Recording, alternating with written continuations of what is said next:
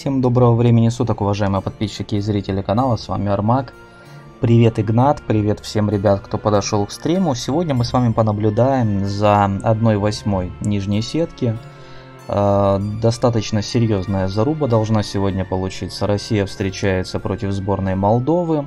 Счет 0-0, это первая игра, и на эту игру мы видим, что был выбран такой достаточно необычный шаблон, как э, Clash of Dragons – он э, в целом в турнирах, э, можно сказать, практически не играется. Но вот на этот турнир данный шаблон заявлен и определенная популярность э, у него есть. То есть его выбирают разные сборные. И за Россию сегодня будет играть, собственно, Гамунгулс, за Молдову сегодня будет играть Стинкер. Определить, кто здесь будет фаворитом, я, пожалуй, не берусь.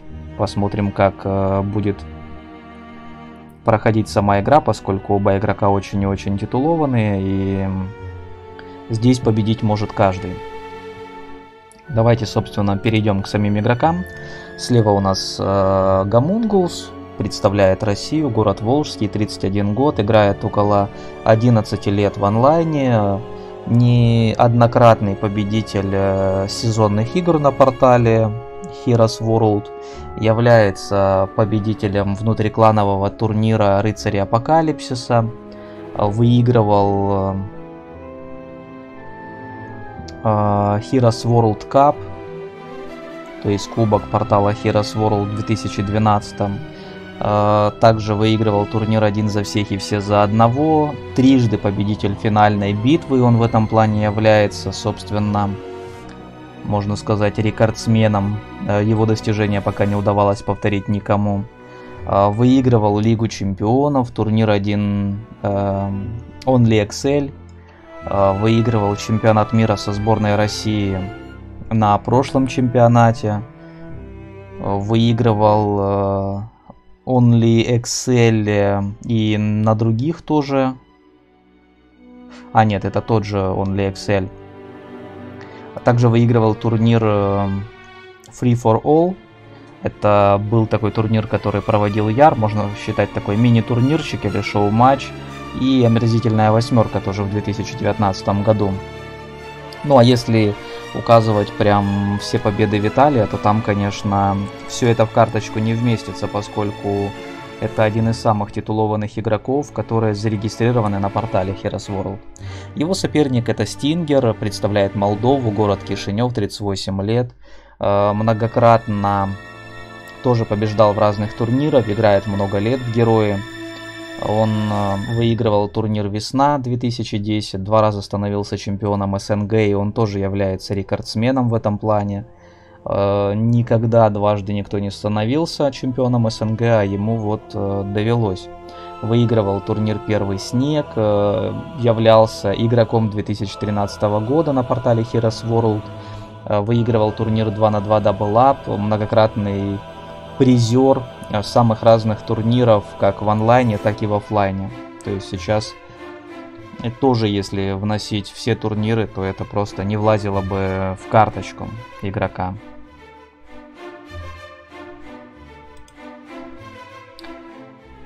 Ну и сейчас мы потихонечку с вами, собственно, будем наблюдать за тем, как будет проходить э, черк.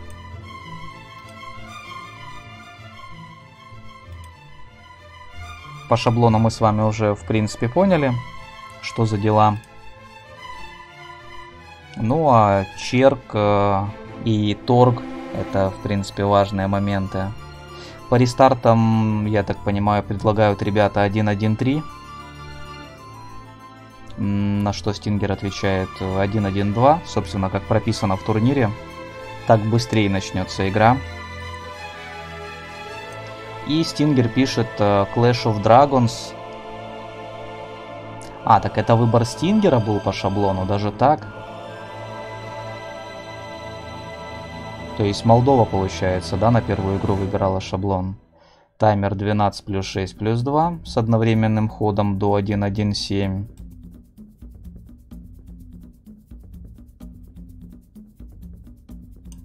А, Гомунгулус предлагает одновременный ход поставить до второго дня второй недели. Стингер э, с этим соглашается и выпадает башня на сопряжение. И 500 сразу же тратит Гомунгулус на новую пару. И новая пара это уже Цитадель против Инферно. Вот тут, конечно, можно нормально ребятам поторговаться. 5000 пошло, 5100, 5200. Причем это один из тех случаев, когда, наверное, можно поторговаться за Инферно. Потому что там хотя бы гильдия может э, строиться до пятого уровня. А Clash of Dragons это очень богатый шаблон, на котором, ну, очень решает именно контроль. Тут торговались, торговались. Стингер спрашивает, а твердыня это цитаделька? Да, отвечает Гамонгулс. И продолжается торговля дальше. 5600, 5700, 5800, 5900 дает Гамонгулс. Стингер поднимает до 6.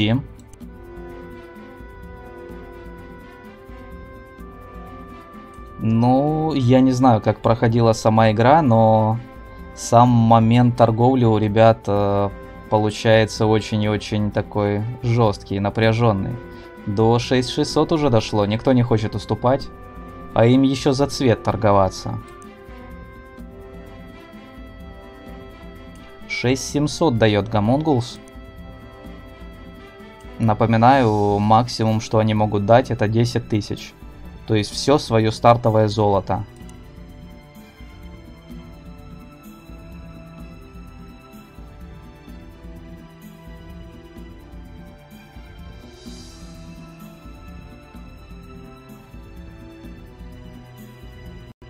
Стингер призадумался. Отдавать ли Гамонгулсу возможность выбрать город? Нет, дает целых 7 тысяч сразу. То есть прыгает на 300 золота в плюс. Возможно, он сейчас предложил максимум. Да, он предложил максимум из того, что мог. И в итоге заполучил себе 7100. А Стингер купил себе за 500 сейчас э, цвет. То есть Стингер у нас играет красным цветом. О, так Гамунгул сторговался за цитадельку даже. Получается так, что за цитку с таким жестким... А, нет, стоп, он в плюсе, да? Стингер э, с Инферно. А, не, все поменялись, да. С минусом. За циту с минусом играть это, конечно, жестко. И у него еще и гильдию там нормально не отстроишь. Пока, если честно, тяжеловато понять, а почему Цита, а не Инферно. Ну, наверное, чтобы не было старта в подземке. Привет, Мейнофендер. Сейчас ребята еще по настройкам пытаются тоже решить моменты.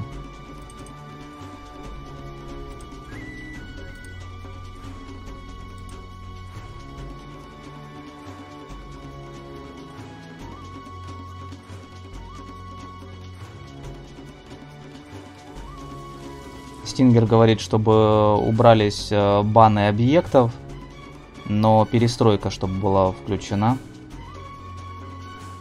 Спрашивает, нормально Гамонгулс или нет. Стингер говорит, сейчас не вижу. Запускай.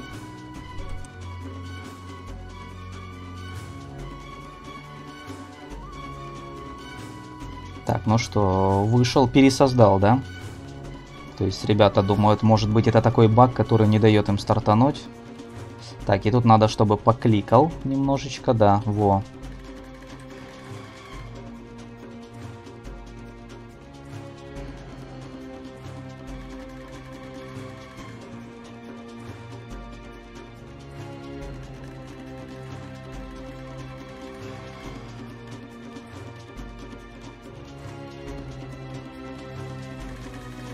Так, и тут вообще закрылось в итоге, да? Опять перезапуск самой игры пошел у ребят. Пока что не могут э, что-то настроить, ребят, с настройками.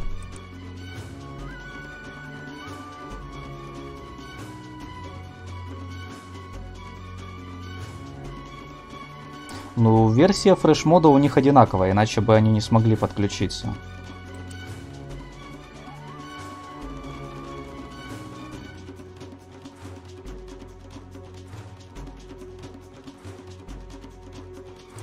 Ой-ой-ой, они хотят с галочкой Gameplay Changes сыграть? Нет, вроде отключил, как положено.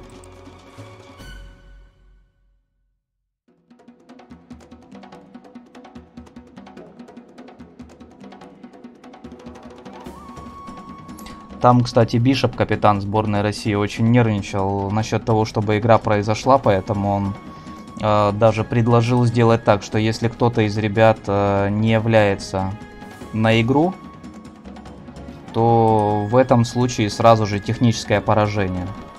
Поскольку Бишоп, э, ну и Бишоп, и Хеллайт, они устали ждать, пока все вот эти вот затягивания в турнире шли из-за этих праздников, неявок на игру со стороны некоторых игроков.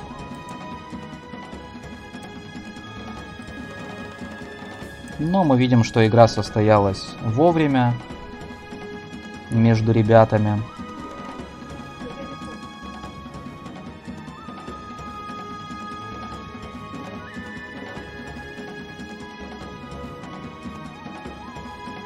Так, мы видим у Стингера старт в подземелье, видим то, что есть сразу же на старте консерватория. Правда, размер консерватории пока не ясен. Ну, а Гамунгулс тоже начинает разбегаться. И, честно говоря, объектов пока не видно. Шаблон, я напоминаю, Clash of Dragons. Э, очень и очень богатый, богаче, чем Джебус. Как по золоту, так э, и по объектам. Здесь э, появляются даже такие объекты, которые на Джебусе банально по вэлью не проходят, типа внешнее жилище лазурных, сказочных драконов.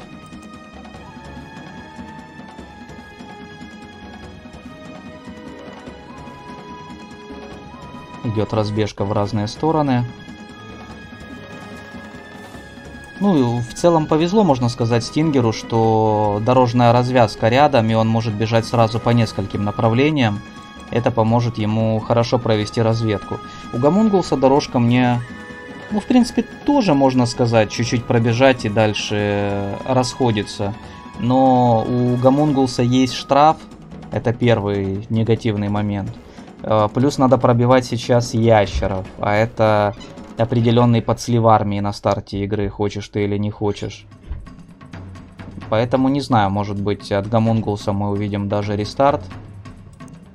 Вообще дождемся, как тут получится. По золоту, понятное дело, 8 героев будут стартовать, я думаю, всегда. За редким исключением Стингер с таким огромным плюсом.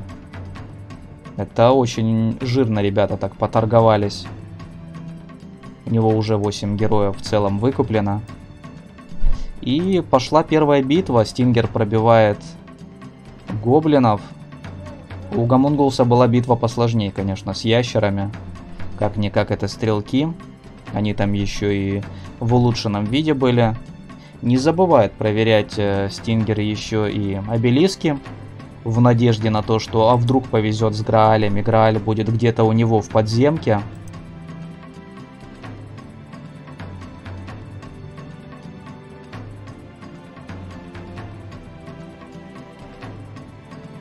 И все, уже отходил Гамунгулс. Не, Гамунгулс заигрывает. Его пока устраивает э, то, что он видит. Ну, если говорить про Стингера, ну, разбежка более-менее неплохая. Тоже в целом можно подумать насчет заигрывания. И плюс есть консерватория. Стингер тоже заигрывает. Вот так вот ребята сразу заиграли, без рестартов, без ничего, с первого раза. У Витали вот если есть что-то интересное, да, с самого начала, это, во-первых, то, что ему зашла Луна, это первый хороший момент. А второй момент это то, что у него есть внешний рынок. И вот как раз недооценивать внешний рынок ни в коем случае нельзя. Ну и конюшня. Собственно, она, может быть, не очень удачно стоит, но в целом она вдоль дорожки, поэтому, когда ты будешь мимо нее там пробегать, то, конечно, через конюшню много чего можно пропускать. А, гоблины улучшались до хоп-гоблинов, и в ближайшее время, наверное, будут улучшаться, возможно, собаки.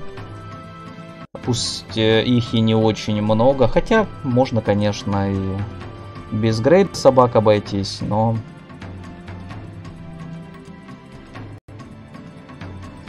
Просто их очень мало, я не знаю вообще, есть смысл их улучшать или нет в таком малом количестве. Сейчас со стороны Виталия мы, в общем-то, и посмотрим, как он решит. А вот у Стингера и вторая консерватория. Опа. И, судя по всему, консерватория это маленькая. Гомунгулс пока таким похвастаться не может.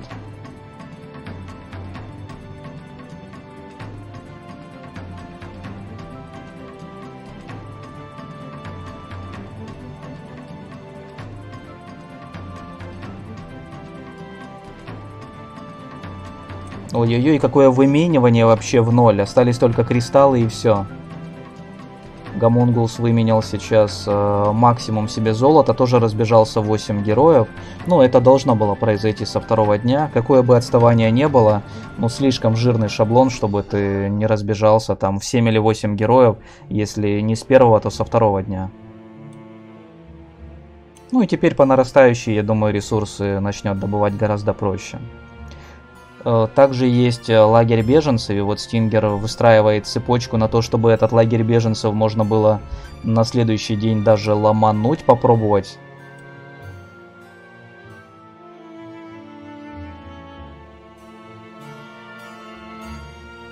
Находит свиток камня кожи. Гамонгулс. И есть внешнее жилище, за которым он собирается ехать, и по пути можно отбить достаточно полезное колечко. Все, быстренько наступает третий день. Очень-очень динамично пока что идет игра. И если так будет дальше, то, конечно, мы достаточно быстро с вами сможем увидеть и развязку.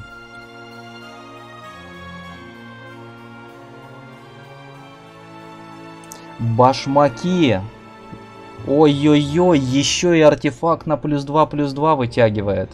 Виталий. Ой-ой-ой, вот это было сейчас сильно. Мало того, что у него специалист по логистике, так он еще и сапоги-скороходы на мувпоинты вытянул. И плюс 2 к силе магии, плюс 2 к знаниям. Плащик хороший из крыльев ангела. Так, ну это такая хорошая заявочка именно на темповую игру со стороны сборной России. Отстраиваются птицы на третий день.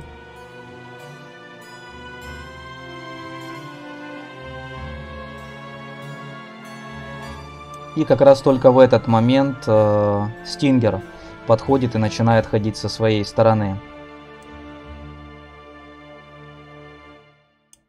Так, ну он сейчас, наверное, как и задумывал, поедет э, отбивать лагерь беженцев, смотреть, что там, а вдруг дадут что-то высокоуровневое. А Гамунгулс в это время пользуется алтарем жертвенным.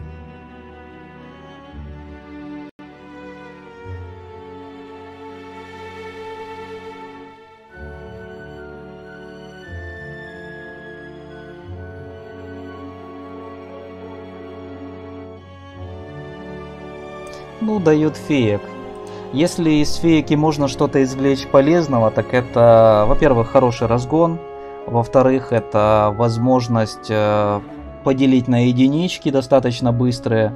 Тоже, в принципе, польза в этом, конечно же, есть. Так что это не бесполезный юнит, как минимум. Ну и плюс у Виталия найдена там тоже консерватория, то есть одна консерватория против двух сейчас играется.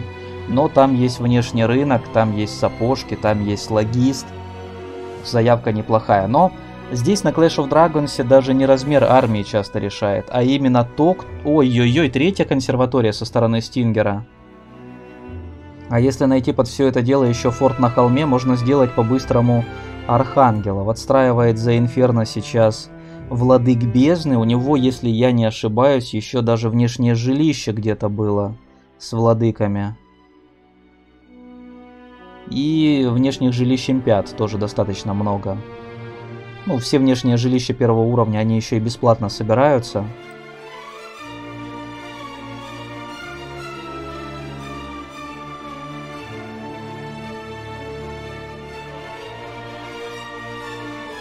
О, доспехи тоже раздают неплохо. В целом, конечно, вот э, расклады, вот эти вот жирные, они ребятам дают достаточно много вариантов того, как можно все это дело разыграть. Самое главное, что эти расклады играбельные, И более того, это неплохие расклады, как с одной, так и с другой стороны. Они абсолютно разные, но они потенциально интересные. Единственное, пока что, если говорить про Гамунгулса, то у него пока непонятно, э, где он будет находить контроль. Пока что городов э, без ограничения на гильдию магии нету. Тогда, если не найдет, придется или ящики Пандоры собирать. Ну, в общем, в трежерную зону, скорее всего, придется тогда бежать. После того, как отстроится на первой недельке. Насколько я понял, Гамонгул сейчас на одного из своих саппортов словил дипломатию. Правда, не знаю, дойдет ли до присоединения существ в этой игре но как минимум про запас э, держать данную тактику точно есть смысл.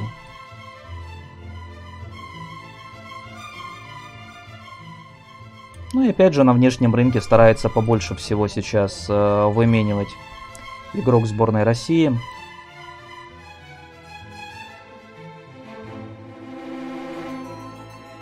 У Молдовы хорошая разбежка, хорошая разведка. скором времени должны появиться эфриты. Золото просто невероятно. Можно смело говорить о том, что Стингер купается просто в этом золоте. Но он и начинал с плюсом. Поторговался он очень и очень здорово. У Гамунгулса уже на четвертый день отстроены мишки. Теперь можно цитадель и замок влепить, и уже будет три медведя. О, еще и магия земли. Тут еще и Деса пошла качаться как надо.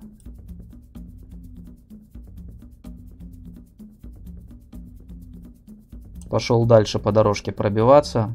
Ну и у Десы очков перемещения очень много. Она сейчас, конечно, может по этому направлению углубиться очень и очень далеко. Героя освобождать. Ой, и опять он вытягивает щиток. Как же ему везет на артефакты вот в этой сдаче. Вроде и шанс э, не очень большой, но еще и волшебное зеркало вытянул. Но это, пожалуй, я не знаю. Сыграет или не сыграет. Привет, Shadow Play. Были партии, где волшебное зеркало решало. Будет ли это одна из таких, не знаю. Но вероятность в целом небольшая.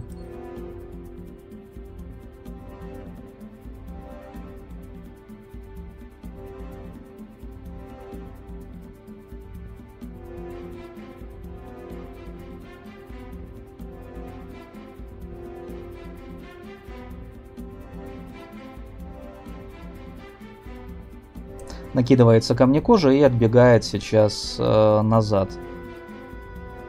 Задача, конечно, основные стеки не потерять. И собачки тоже сейчас закрыты. 20 собачек получилось в улучшенном виде. Ну, 20 это уже, в принципе, нормальный стек. За счет двойного удара это можно считать, как будто ты получаешь удар от 40 не И опять он вытягивает артефакт на плюс один ко всем статам. Да что ж за везение какое-то такое нереальное прям идет для Гамунгулса. Ну, я не знаю, если так будет перейти дальше, то, конечно, Виталий должен тащить данную партию. Ему самое главное, чтобы не только с артефактами вот так вот везло, да, а чтобы ему также повезло еще с контролем. Вот он нашел Инферно и сразу же в Инферно начинает строить э, гильдию. То есть с деревней можно считать, что тоже повезло. Так что контроль будет, вопрос только насколько быстро.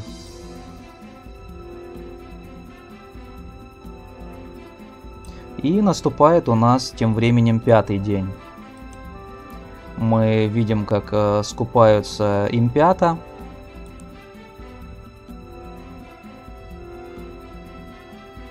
Находит Стингер еще одну консерваторию. Я уже сбился со счета, какая это? Четвертая вроде?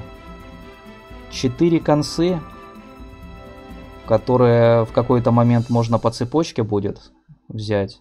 Помощь армии Стингер видит, что он уступает сопернику, но так у него армия спрятана, она не учитывается. А, сейчас отстраиваются эфриты, более того, он может их спокойно выкупить. Э, покупаются тоже сразу же и владыки бездны тоже.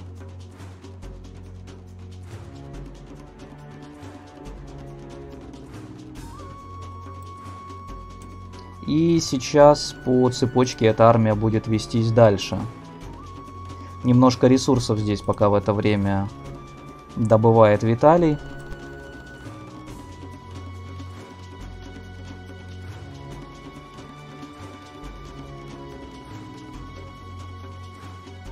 Ну а Стингер идет брать, э, возможно, первую консерваторию сейчас после скупки. Это будет очень темпово.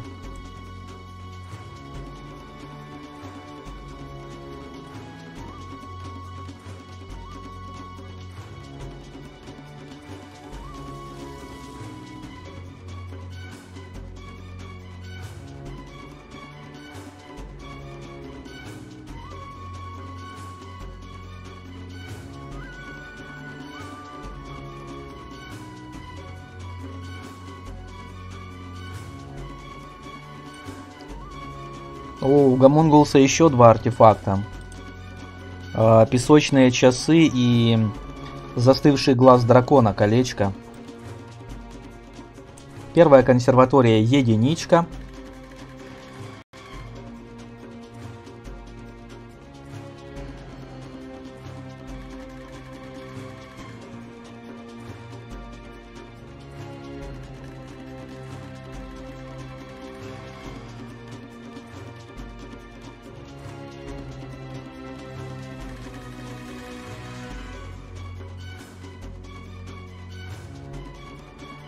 И пока тут берется конца, Гамунгулс разбивает э, в цитадельку, в стартовый город Дессу.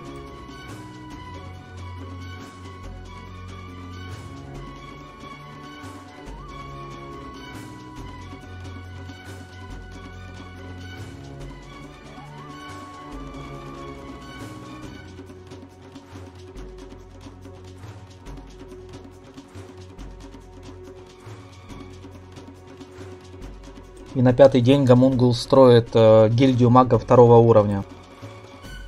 Ну, если так пойдет дело и дальше, то Стингер может в одну калитку проиграть банально по более позднему получению контроля. И даже несмотря на то, что, возможно, у него сейчас армии будут в разы больше, это может просто не решить.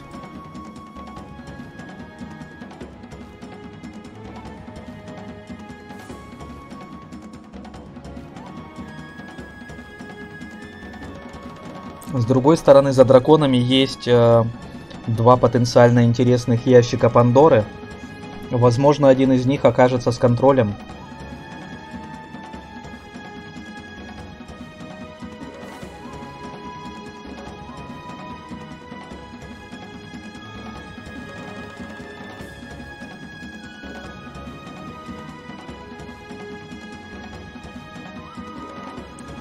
Ему бы сейчас по-быстрому прочекать, попроверять, э, какие другие размеры консерватории у него есть. Чтобы знать, в каком порядке в целом эти четыре концы собирать. Ну, уже можно считать три, да? Одно он взял.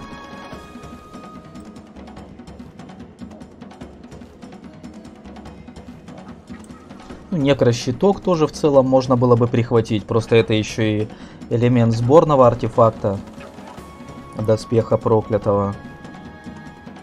Карта большая, есть шанс э, разные сборники собрать.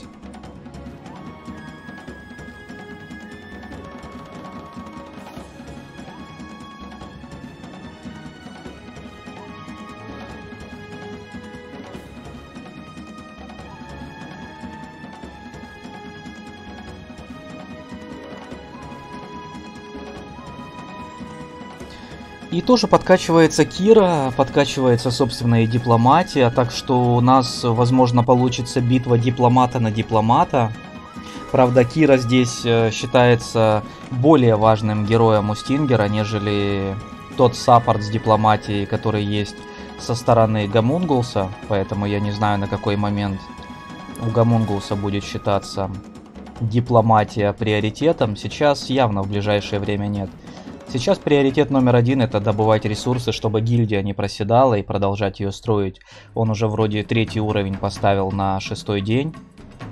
То есть в целом к концу недели есть шанс на получение даже городского портала. Но это если, конечно, по ресурсам срастется, что скорее всего так и будет, потому что у него есть э, внешний рынок. Привет, Сергей, ВЛК.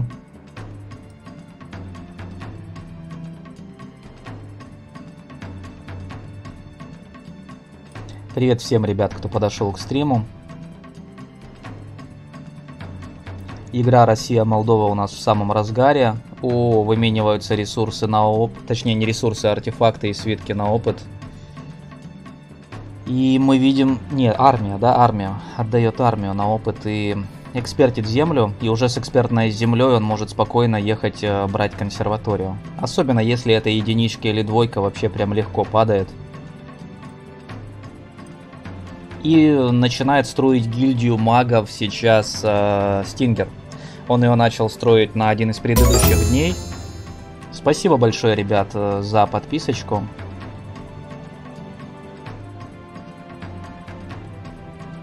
Э, гильдия второго уровня получается. И пока здесь пробиваются копейщики на ложке со стороны Стингера, берется конца тоже единичка. То есть ребята, можно сказать, ну, с разницей там небольшой, э, практически в одно время берут по конце единички. Это здорово. Но проблема Гомунгулса в том, что на этом его консерватории закончились, из того, что он разведал. А у Стингера, в общем-то, таких консерваторий еще достаточно много. И Стингер, мы видим, он сейчас армию разделил на несколько флангов, и по сути занимается тем, что тоже добывает ресурсы для того, чтобы гильдия как можно раньше стала. Чем быстрее пятый уровень станет, тем быстрее они смогут его перестраивать э, до момента, пока получат дверь измерений. Полет тоже будет хорошо, но полет их так сильно не ускоряет. При игре без правил можно делать целых 4 двери измерений. Правда, не всегда игрок, который раньше получает ДДшку, выигрывает, и мы с вами это видели не единожды, и в ходе э, данного турнира, и других. Э, цитаделька вроде или замок. То ли цитка, то ли замок только что у Гамунгулса стали. Ну, понятное дело, что он будет э, стараться увеличить прирост и собак, и чудищ, и птичек, собственно. Он с чудищами уже с четвертого дня бегает. А, вот еще одна консерватория, которую он пока что пробегает и немножко не успел добежать. То ли город, то ли будет, э, возможно, ну, портал я не знаю, возможно, врата. Подземные наверх. В портал там слабовато верится.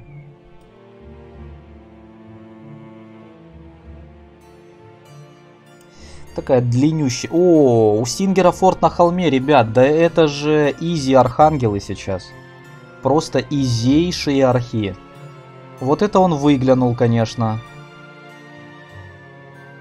Вот это да, пойдет. Ну вот как раз он соберет э, вот эти... Ну, одну он к концу взял, еще четыре осталось. Поскольку одну он только что нашел.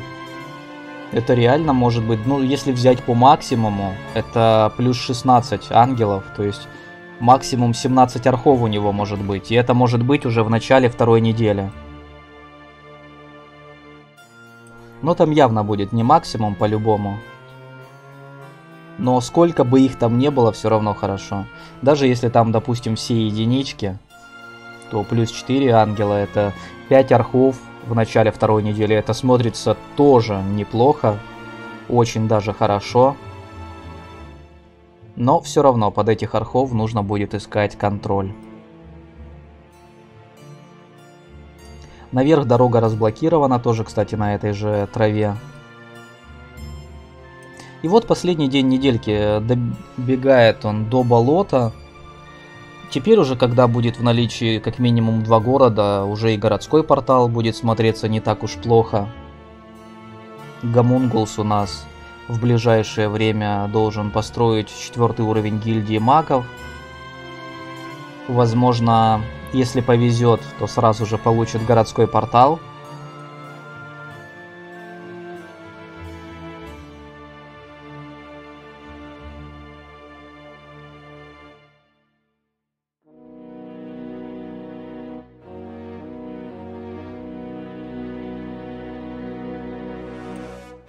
Стингер пока что проверяет мощь армии, у кого из них больше, чтобы примерно определить, у кого сейчас идут дела лучше. И если мощь армии постоянно у соперника больше, возможно, там тоже улики или консерватории уже собираются. Ну или по внешним жилищам накидало очень хорошо. По пути, пока вывозил армию назад по цепочке, он забирает э, щит на плюс 3 к знаниям. Ой, к защите точнее. И сейчас э, может попробовать э, внешнее жилище Владык Бездны взять как раз под конец этой недели. А Луна тут пошла со стороны сборной России прожигать зомбей. Э, зомби немножко неудобно разделились, придется потратить чуть-чуть больше маны. Но самое главное результат. И экспертица магии огня как раз. Тоже замечательно.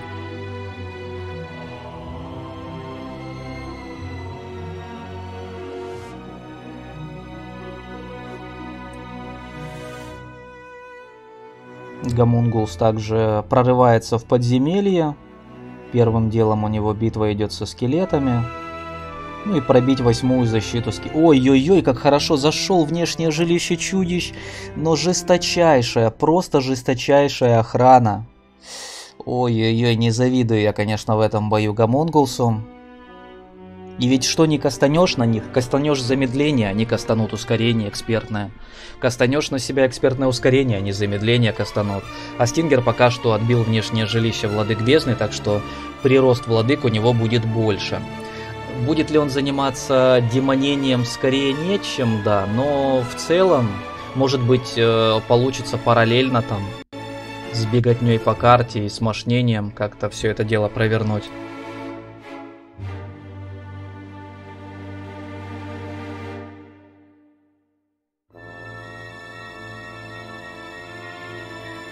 Сейчас самое важное не потерять ангела. В идеале.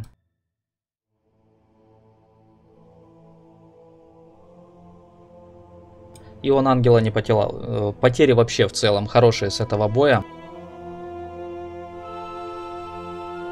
При взятии нычки опять ему предлагают потерять ангела, но тут нет. Тут банально замедление. Э, единички снимают ответку, наваливаются всю стейки и все. Ну, единственное, он потерял на одну единичку больше из-за того, что э, стек чудищ сморалился, все. Ну, стек э, чудищ получается достаточно хороший со стороны России, и мощь армии в целом э, пока что остается именно на стороне России. Э, по отстройке гильдии Россия сейчас впереди, и по мощи армии Россия тоже впереди. Но потенциал у Стингера смотрится достаточно интересно. То есть uh, 5 консерваторий, uh, форт на холме, где можно дешево, собственно, архангелов сделать, даже не отстраивая, собственно, это здание. Да и владык бездны там же можно улучшить для демонения. Четвертый уровень, Армагеддон и городской портал. Ну, Виталию сегодня прям заходит все как надо. И артефактов много зашло, и нычка чудищ, и консерватория единичка для темпа самое то, и в гильдии с первого раза городской портал. В общем, у России все пока отлично. А у Молдовы очень высокий потенциал, но немножечко идет отставание.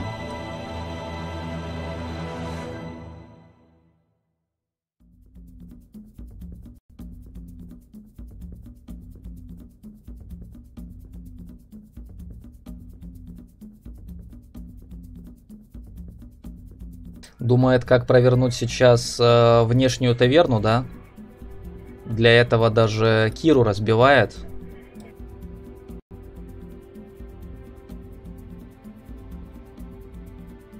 И будет удаляться аж, да? Как первый канал включил. Ну да, да, да. Событий очень много. Я еле успеваю, в общем-то, за ребятами. Это вот будет, пока будет идти одновременный ход, мы будем с вами очень-очень быстро спешить. Нам только не хватает э, повторять о том, что не переключайтесь, дальше будет интереснее.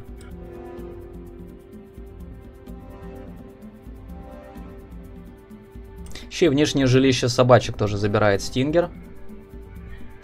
Хотя собаки, по-моему, в городе у него не отстраивались. Пробивается к очередной консерватории. Э, возможно, она сразу же будет проверяться, и, может быть, э, к концу первой недели у него уже будет даже две взятых концы.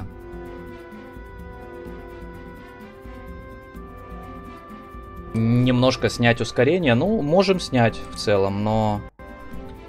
Игра там не очень быстро шла, если что.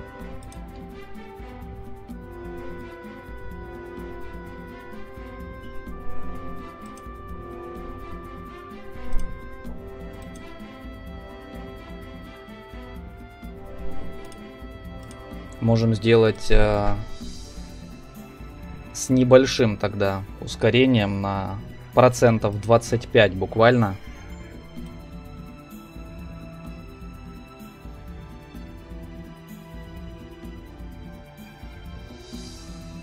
Ну и мы видим, что Стингер сразу не принимает ход. Э, настолько много событий происходит, что, наверное, есть смысл отдохнуть. То есть надо сделать небольшую передышку, пока ты не принимаешь ход, э, таймер у тебя в целом не идет.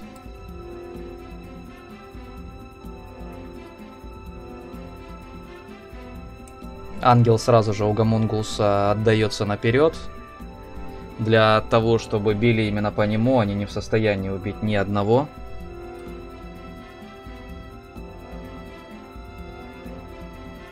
И он дотягивается до еще одной цитадельки. Правда, это деревня, это не полноценный город. Справа есть улик, который можно тоже попробовать по-быстрому ломануть.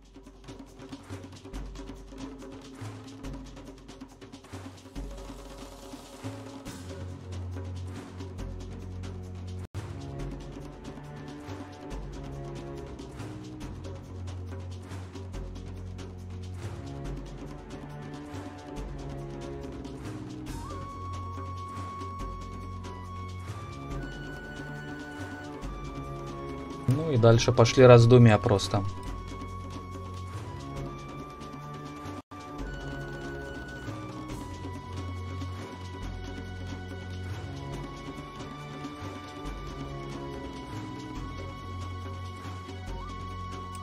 прячется пока в городе, отстраивается дополнительная таверна и сейчас либо на разведку запустится, либо возможно пойдет как раз таки пробиваться в сторону Улика.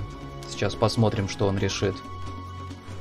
Ну и пока он тут решает, э, Стингер отстраивает гильдию до четвертого уровня, и в отличие от сборной России, Молдове контроль на четвертом уровне не дают. Пока что Стингер без городского портала продолжает игру.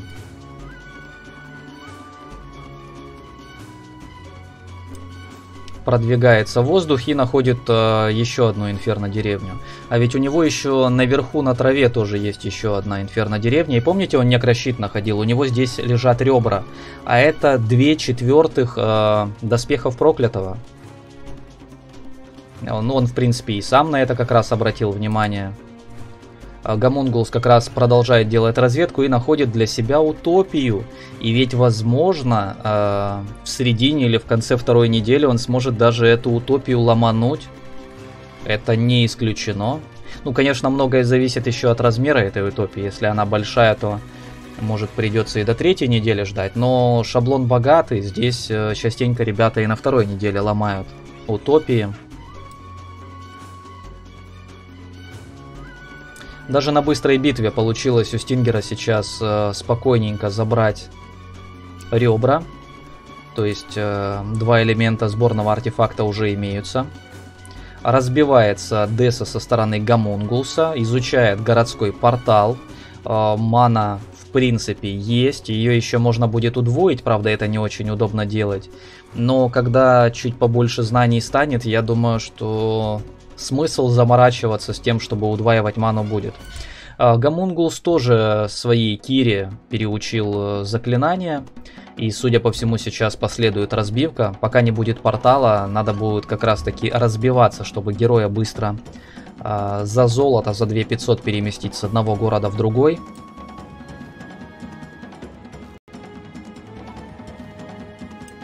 Десса-путешественница опять возвращается домой в стартовый город. У него есть, кстати, еще одно внешнее жилище чудищ над гор... А, нет, там птички. Там внешка птичек.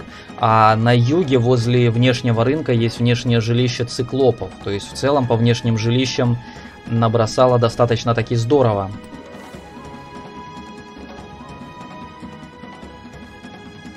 Посещается конюшенка. Ну, начало второй недельки, поэтому всех героев, которые вблизи есть конюшенки, можно будет заново их прогнать, и дополнительные 400 мувпоинтов этот бонус будет работать до конца недели. Стингер в это время подумывает о том, что, наверное, надо бы пробиться к еще одному инферно городу и заодно разблокировать э, форт на холме.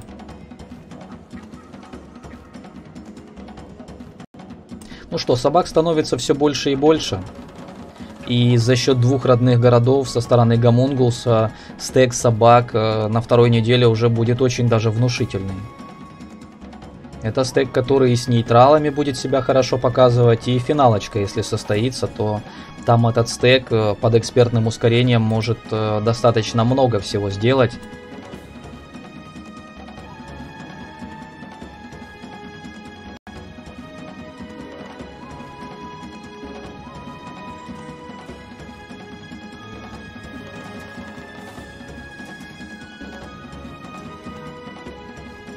И побежал за нагрудником сейчас. Орлаш.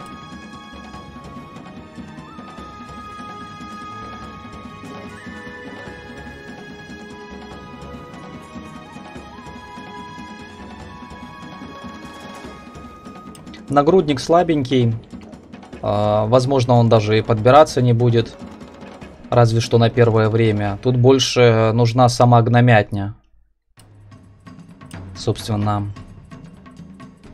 Мощь армии проверяет Гамунгулс, она остается все еще за ним. Ну и в целом по экономике тоже посмотрел, как там дела у оппонента. Магия Земли подкачивается у Луны, и Луна начинает э, бежать вниз, находя по пути очень много низкоуровневых существ, за которыми пробивается целый э, ряд, э, ну пусть в малом количестве, но тем не менее ресурсов. А Стингер пробивает сейчас э, форт на холме, Привет, Легат Прима. Давно начали? Ну, уже, ребят, 49 э, минут как играют. То есть началась уже вторая неделька.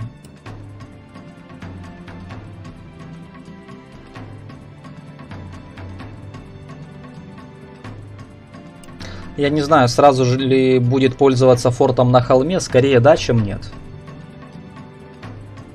Даже ради одного ангела есть смысл заморочиться. Да и плюс ты ифритов, э, ну точнее уже ифрита, можешь до султана ифритов сейчас загрейдить. Но печально то, что ифрит, конечно, здесь потерялся. Неприятные ребята эти, магматики. Э, еще один обелиск проверяет Стингер. Пока что мы видим, что Виталий на свитке не сильно бросается, а вот Стингер, да, обращает внимание на столь важный объект при игре без правил. Как возможность э, откопать где-то Грааль. Да, делает сразу же Султана Вифритов, делает себе Архангелов э, и Магог. Хотя сделать Владык Бездны, мне кажется, более интересный вариант. А Магог можно было, ну точнее не Магог, а даже обычных Гог, э, продемонить и сделать из них стек демонов. Все-таки в Соде Гоги и Магоги это не столь большая сила, как э, в той же Хоте, да? Где они могут стрелять между юнитами и цеплять э, больше тактически так врага.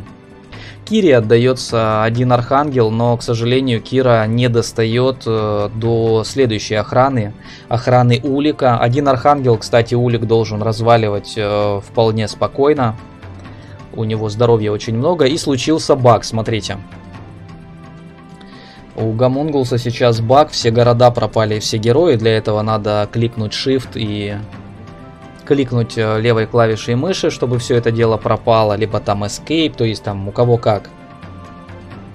Баг, в принципе, старый, и ребята его не особо боятся. Ну, те, кто поопытнее.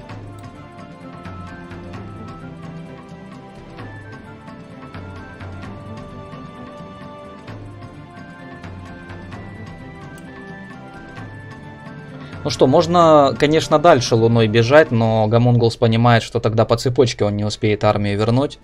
Поэтому, возможно, есть смысл Луной туда попозже прийти, а сейчас вернуть просто армию. Первый раз про такой баг слышу. Ну, просто в онлайне, наверное, у тебя еще маловато наигрыша. А, не услышал, что за баг. Баг, когда ты принимаешь ход и ну, это может быть прям на старте игры даже. У тебя нет ни одного города показывает и ни одного героя. То есть тебе надо зажать э, Shift и кликнуть мышкой просто. Ну или там Escape, у кого как. То есть не надо спешить там, нервничать как-то.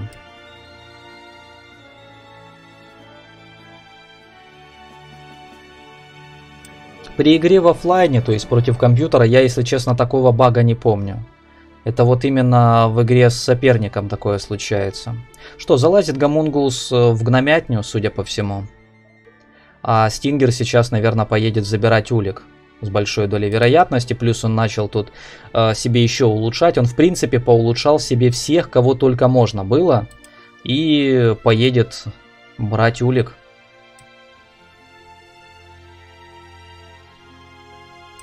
Один берет э, гномятню сейчас. Гномятня берется, в принципе, несложно. Ну, с потерей единичек, которые снимают ответки. А вот у Стингера здесь бой немножко более неприятный, потому что на траве плюс один скорости получают эти юниты.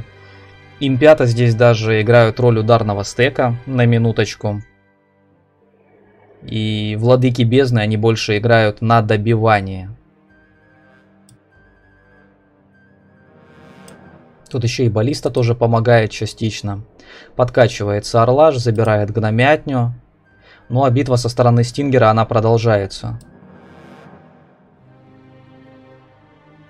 В целом потери хорошие, можно сказать, у Стингера по этому бою. Но в Улике уже без потерь будет сложно, там кого-то ты потеряешь. Тут три импенка всего лишь отдал.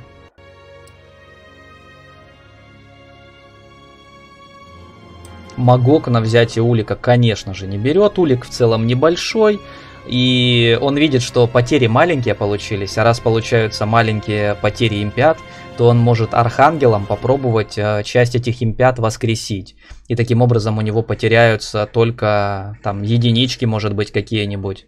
Да, вот он сейчас воскресил их, и видите, всего лишь одного импенка разменял на целых 4 виверны. Это неплохо.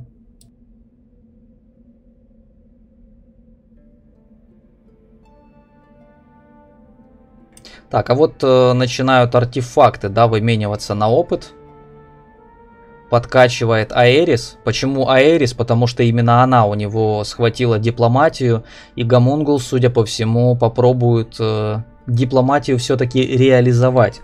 Даже несмотря на то, что здесь подключен плагин, который делает дипломатию только платной. То есть бесплатно к вам никто не присоединяется. У нас есть ряд игроков, которые в турнире считают, что платная дипломатия, она себя плохо показывает, но статистика говорит об обратном. А, платная дипломатия здесь помогала игрокам побеждать, просто теперь она уже не является халявной, которой была раньше. Ну и часто ее используют теперь не с первой недели, хотя с первой недели тоже бывали случаи. В основном ее используют где-то там со середины второй, а бывает и с третьей недели, когда уже утопии берутся, когда есть лишнее золото, которое можно было бы на присоединение потратить. Ой, как много свитков собрано у Стингера. Вот ему бы тоже сейчас торговца артефактами, попродавать там лишние свитки повыменивать на ресурсы там для перестройки гильдии магов. Он видит, что в подземелье над ним, э, судя по всему, находится супер трежерная зона, где можно было бы помощниться. Но без э, двери измерений он туда не может попасть э, по-быстрому. Если будет искать туда разные проходы, это может занять достаточно много времени. А ему надо стараться попасть туда как можно быстрее. А у Гамунгулса городской портал появился, ему уже, конечно, намного попроще. Он может гораздо быстрее разыгрывать тот расклад, который ему выпал, но все равно без полета и двери измерений э, приходится пока что проводить бои, э, которых можно было бы избежать и гораздо побыстрее в целом еще перемещаться по карте. И более того, можно было бы даже в какой-то момент выбрать, чтобы накрыть соперника и сделать это неожиданно для него.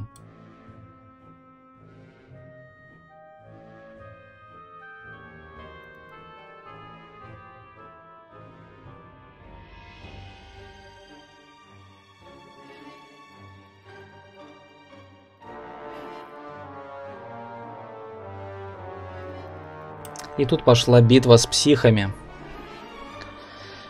На 5 стеков поделились. Тут уже без потерь э, не получится. Привет, пилки. И Стингера намыло. Чего ты так? Ну, Стингеру тут, э, с одной стороны, завезло. Там много консерваторий. Э, плюс форт на холме. И так далее. А с другой стороны, не завезло. Гильдию начал строить, а ему не заходит так, как надо. Стингер ЧСВ, ну, не знаю, я за ним как-то не замечал такого, если честно. То, что Стингер часто на приколе, типа, это да, но так, чтобы прям ЧСВ. Спасибо за подписочку, пилки.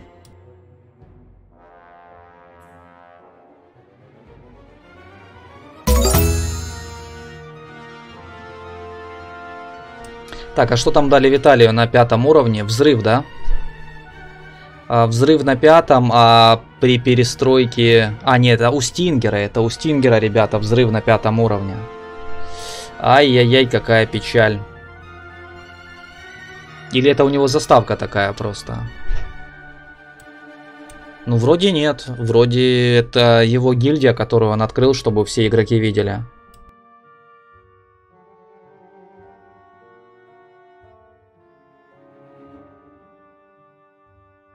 Правда, ЧСВ не замечал, говорит Игнат. Ну, я тоже не замечал. То, что он любит поприкалываться, поюморить, да, в этом Стингер был замечен. А так, я не знаю. Наоборот, вот, э, ну, немного мне, конечно, приходилось со Стингером общаться, но из того, что вот приходилось, э, наоборот, даже если возникает какие-то ну, я не знаю, проблемные моменты там между странами и так далее. Он старается, наоборот, все это дело сводить к шуточкам, идти на какие-то уступки, решать эти моменты, то есть без какого-либо негатива. Ну, насколько я знаю, опять же. То есть, может, я каких-то моментов не знаю.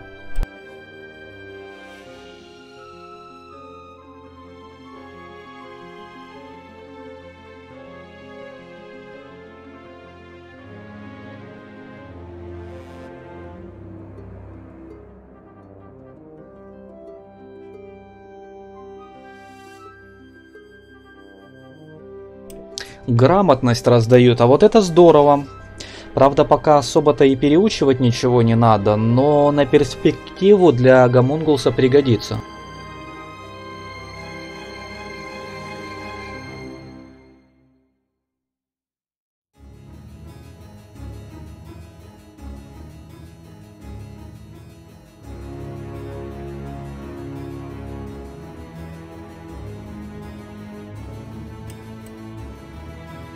Увольняется Йог. Докупаются сейчас э, собаки и чудища. Хотел докупить сначала птиц, но потом понял, что по золоту немножко не получается. А ресурсов, в принципе, не так много.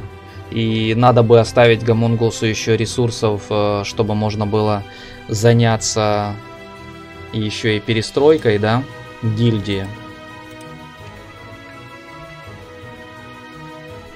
Что как-то так.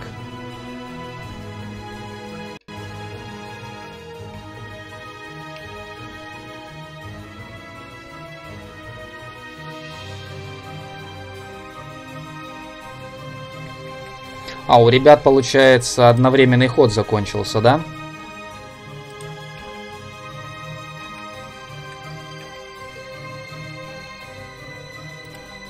Так что теперь второе окошко можно в целом даже закрывать, чтобы оно нам не мешало.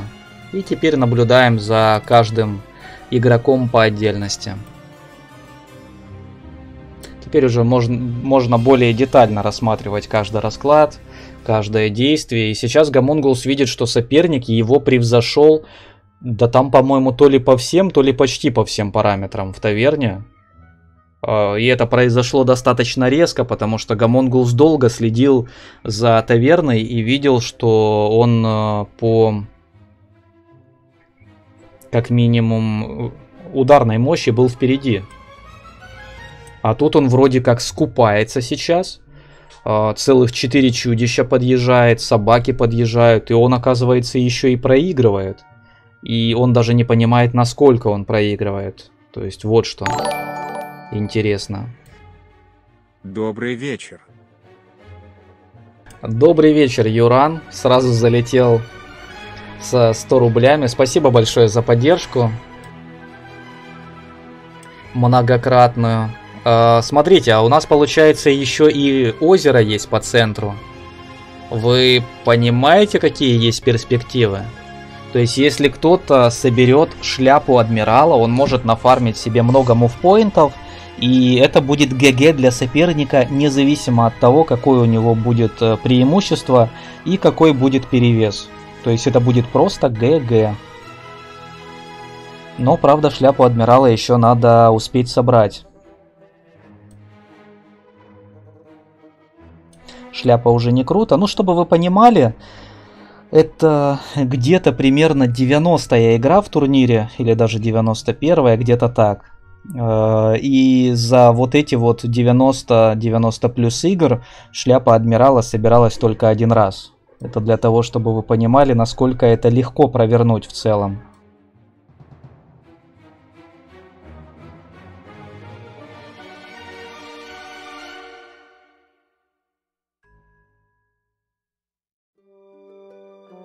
Адмирал играл. Нет, кстати, Прогер. Это игрок, который представляет сборную Сирии. Ну, он живет вообще в России, но у него сирийские корни. И он э, повторил подвиг адмирала, можно сказать.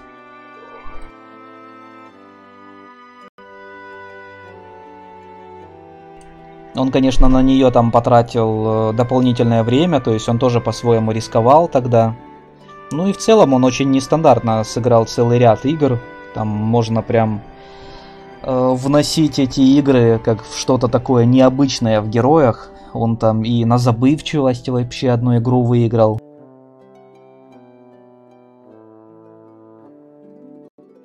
У Рэди всегда с собой шляпа адмирала и лопата. Ну, ему главное не попадаться полиции, а то если во время обысков все, все это дело найдут, то навряд он сможет объяснить э, полиции по поводу того, что да я Граалиду копать как бы. Всегда готов к этому. Вообще, Десси, шляпу. Добрый вечер. Дубль номер два. Легат Прима поступил таким же образом. То есть у нас какие-то платные приветствия пошли. Привет еще раз, Легат Прима. Спасибо большое за поддержку канала. Всегда тебе рады. Всем приятного просмотра, ребят. Партия обещает быть интересной. Гамунгулсу надо попробовать перестроить э, пятый уровень гильдии магов, что он в принципе и делает. ДД, ну все. Я не знаю, как он это делает. У него в этой партии прям такое жуткое везение идет. Ну, как бы красавчик, если не читер. Это просто жесть. Ну, я не знаю, если Стингер в ближайшее время не найдет контроль, то это ГГ.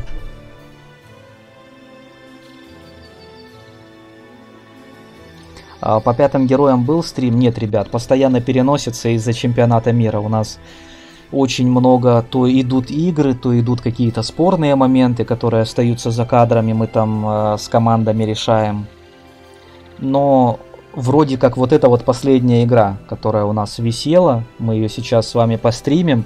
И если, опять же, в ближайшее время не будет никаких там сдвигов, неполадок и так далее, то, может быть, завтра или послезавтра мы с вами проведем стрим по пятым героям. заказной.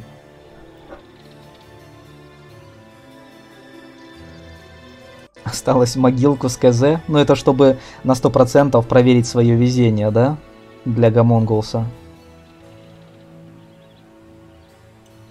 А ведь первоначальный расклад, вот который мы видели со стороны Стингера, вроде смотрелся интереснее. Типа смотрим первая конца, вторая, третья, четвертая, пятая как бы ого-го, а потом тут Виталик начинает. Раз сапожки вытянул, раз артефакт на плюс 2 плюс 2 вытянул, раз себе глаз застывший дракона вытянул, раз в четвертом ГМе городской портал дали, в пятой гильдии, ну пускай не с первого, со второго раза дают ДДшку, вытягивает второй родной город, и как бы все пошло-пошло по нарастающей. Ну то есть была интрига, и сейчас она все еще есть, конечно, потому что Стингер тоже гильдию э, построил.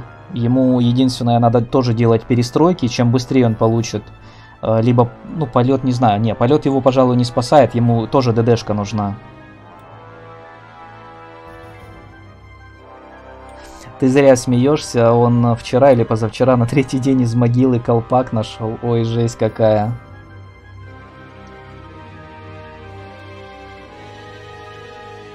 Я на аренке как-то в игре против Бишопа вытянул э, Гладиус Титана, по-моему. Но я тогда не стал его использовать. Бишопа тоже предупредил, хотя он был не против, говорит, да используй без проблем. Говорю, не-не, это как-то нечестно.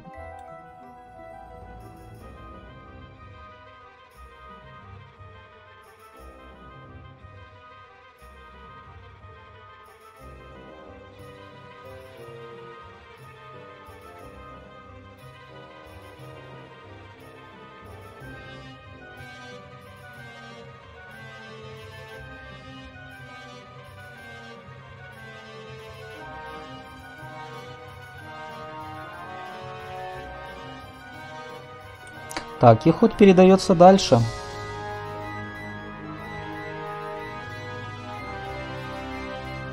Самое смешное, что это был зеркальный джебус, могила почти у замка, а оппонент так и не чекнул ее.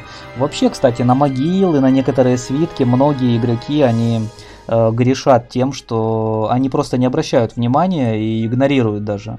О, а тут утопия подъехала и для Стингера тоже.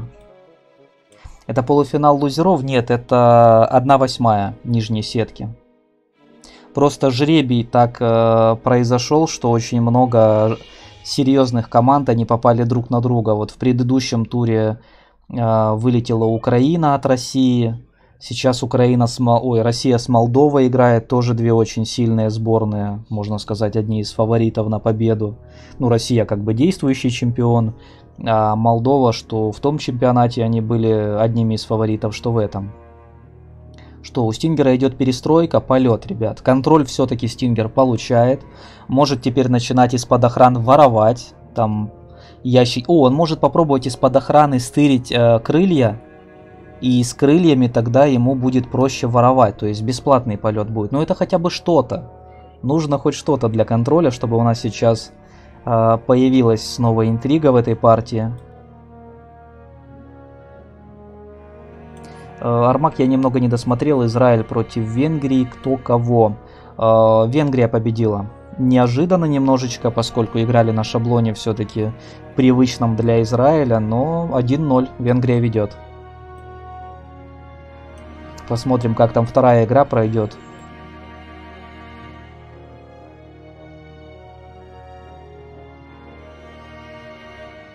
Том году Молдова выиграла? Нет. Э, немножко тогда до призовых мест э, Молдова не дотянула. Хотя была очень сильная сборная, игроков было еще больше, чем сейчас. Сейчас за Молдову играет э, известный вам папашка Саниок и Стингер. А в том году там еще был Вига, э, там был Георг. То есть игроков было побольше и выбора было больше.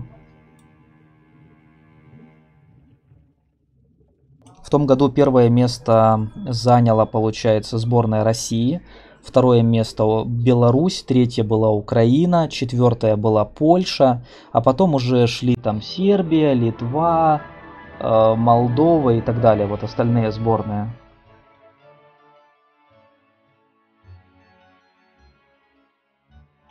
В этом году Польша не принимает участие, у них сборная не собралась.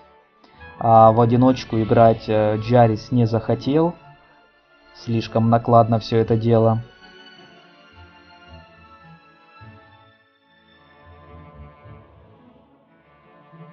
Но зато в этом году появилось э, у нас гораздо больше сборных, чем было в том.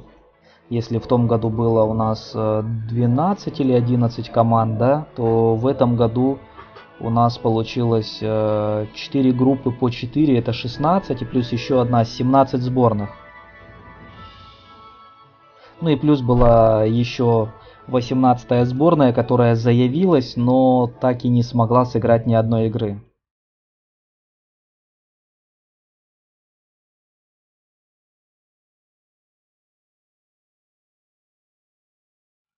Да и в целом азиатских стран побольше. В этом году у нас и Узбекистан, и Вьетнам, и Китай. Скорее, правда, никак не получалось. Но вот в этом году, правда, э, Южная Корея собралась.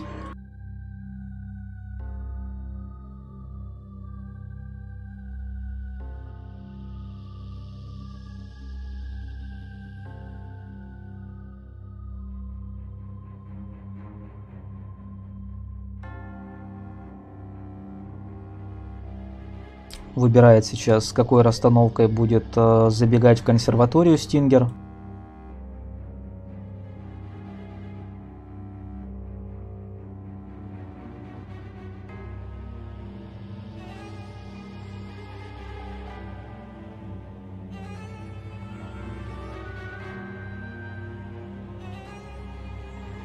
Ты за Дэнчоем? Не, ну Вьетнам уже вылетел.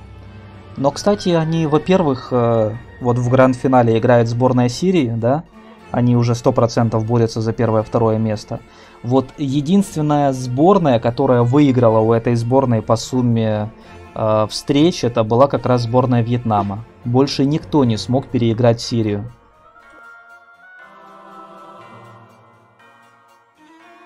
И ведь Прогер не является там каким-то жестким папашкой.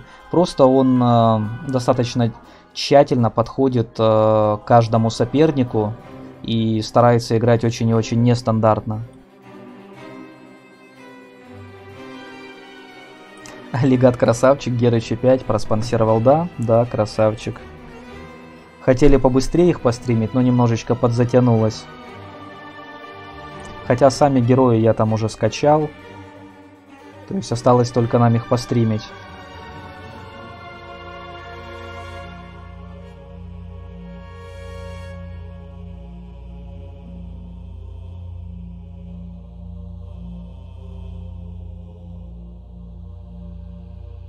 Консерватория двоечка, это целых два архангела потенциальных подъедет. Плохо, что, конечно, замедления нету, но вроде армия достаточно серьезная.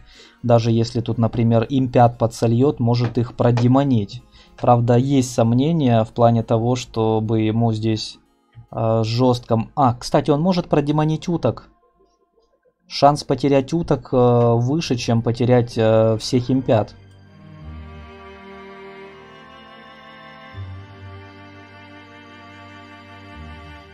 У Архаризурект, э, да, но он слабенький. Один Архангел, сколько он там? 100 здоровья, да, по-моему, он может восстановить всего лишь. Ну, то есть с потерями все-таки вылазит.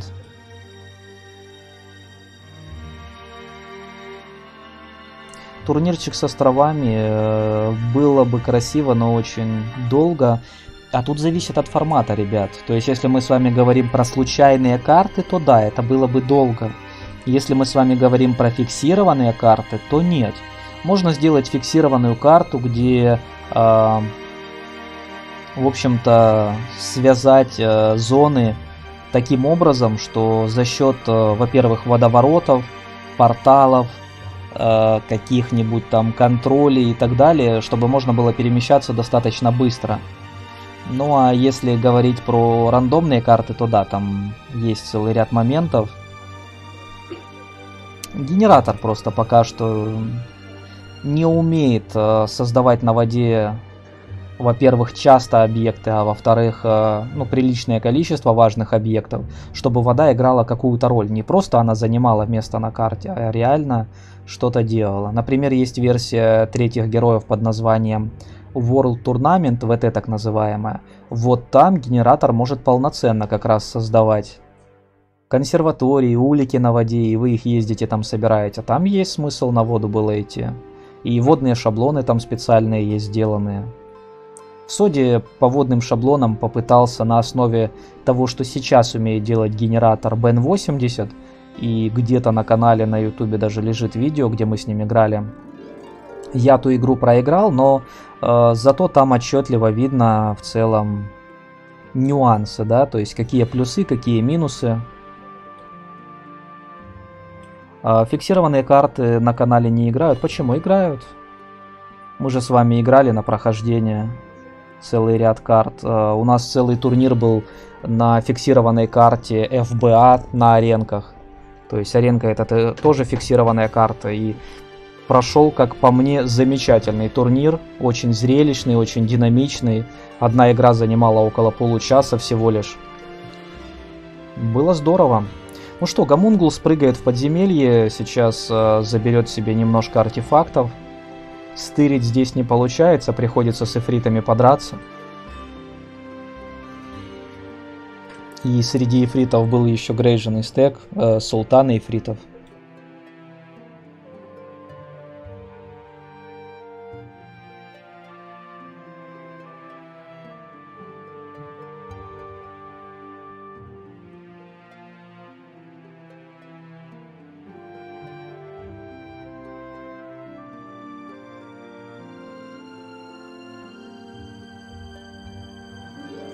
А ВТ жесть почти ВОК. Так ВТ оно построено вообще на ВОГе. Вы берете ВОК версию и поверх нее устанавливаете ВТ, тогда оно у вас начинает работать.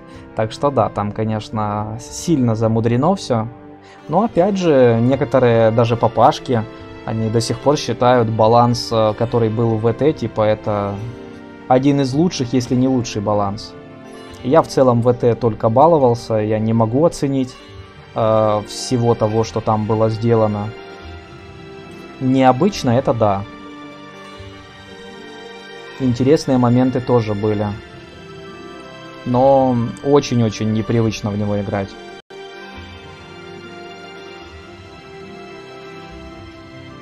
По кайфу посмотрел бы партии с островами, что-то свежее, да. Ну вот на ютубе как раз э, есть где-то видео с островами.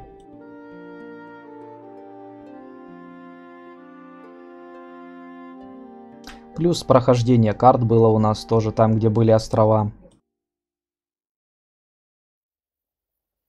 На главной странице канала там можете найти, где-то есть типа прохождение карт. Или игры с компьютером, как-то так плейлисты называются. Ну что, падает уже утопия. 1.2.4, как мы и говорили, со средины или с конца можно... Ой-ой-ой. Все, перчатки плюс сапожки. Ребята, сет Гамунгулса собран. Гамунгул в своем репертуаре.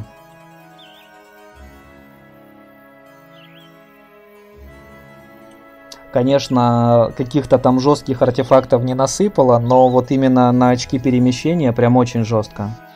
О, привет, Визард.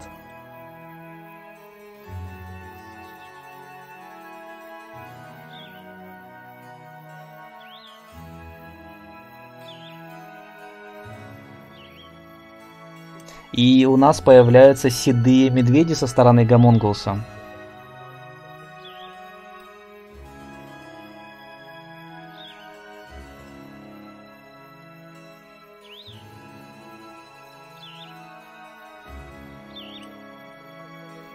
Шесть седых медведей, ребят, на 1, 2, 4. У него, к сожалению, нет возможности сделать себе еще и арха, да, но в перспективе, может быть, еще найдет. БО3 играют, это первое, да, играют БО3, то есть э, до двух побед, то есть максимум три партии может быть. И это первая игра. Сегодня кто-то просто выйдет вперед, не более того. Шаблон Clash of Dragons. То есть по твоим стопам, Визард, пошли, ребята. Стингер выбрал Клэш. Но, если честно, сдало ему, конечно, жестко, там 5 консерваторий на респе. Э, но и форт на холме, кстати, у него тоже есть. Но Гамунгулсу перчатки, сапожки, э, целый ряд артефактов. С первого раза словил городской портал, со второго раза ДДшку. Тут у Гамунгулса прям вообще красота.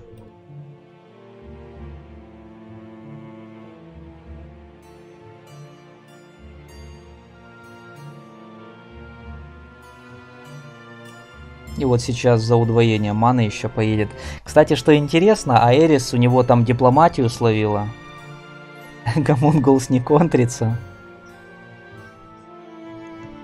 А вот какой бы ты шаблон против него выбирал? Из тех, которые есть в турнире, я даже не знаю. Что, на карнавале катать?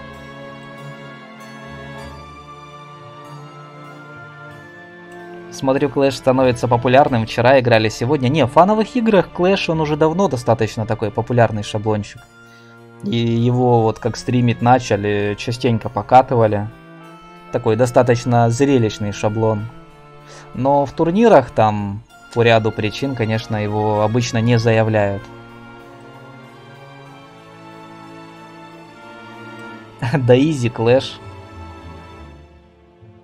Ну, то есть, э, одобряешь, да, выбора Стингера. Самое главное, что необычно, есть возможность э, увидеть в новых красках игроков, да? И себя проявить, и оппонента увидеть. А вот, смотрите, ДДшка за ДДшкой пошли. На инферно-зону хочет сейчас пробежать у нас Гамонгулс. по ряду причин как раз таки сыграл бы с Гомом Clash. Ну здесь хотя бы вот что радует, если даже на Клэше ты находишь очень быстро контроль, то ты по крайней мере не можешь быстро прийти и накрыть соперника. У тебя э, на накрывание соперника ну уйдет хотя бы дня 3-4, что сопернику хотя бы дает время там поперестраивать гильдию, попытаться самому что-нибудь найти. В отличие от того же Джебуса, где ты вышел, и у тебя может банально не быть времени что-то изменить. Сразу встреча и все, и одному из вас может быть уже ГГ, а проскользнуть мимо по правилам ХВ уже может и не получиться.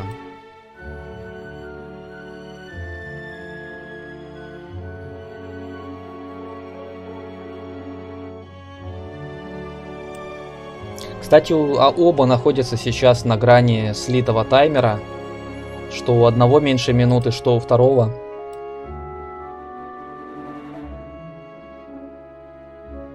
Ну и у Гамунгулса, наверное, таймер будет уходить сейчас быстрее, поскольку в отличие от Стингера у него уже есть контроль, который будет отнимать, конечно, очень много таймера.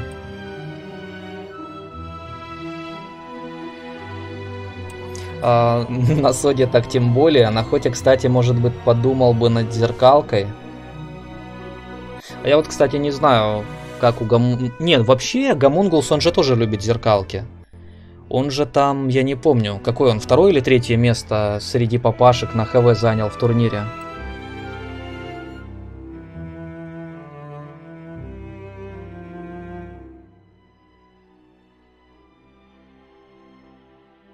Кстати, с комментатором не хочешь залететь?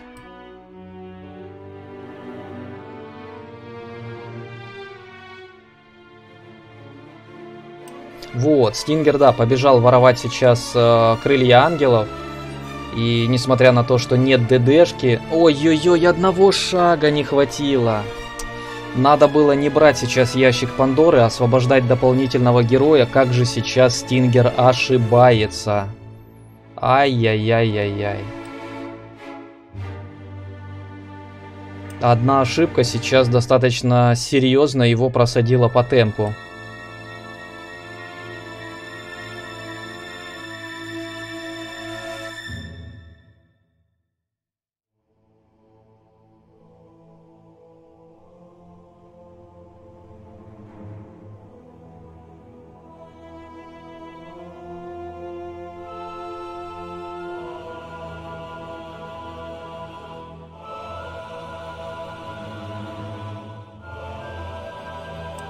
на глазок гейминг сыграл на минус ход. Кстати, да, похоже на то, что, как обычно, Стингер пытался на глаз считать мувпоинт и ну, банально просто, наверное, не посмотрел, поспешил чуть-чуть и все. Тут еще как бы и таймер, он же там заканчивал тоже почти в ноль. Наверное, старался поспешить, думал, да нормально все должно срастись, а оно Эва как раз и... И минус ход практически.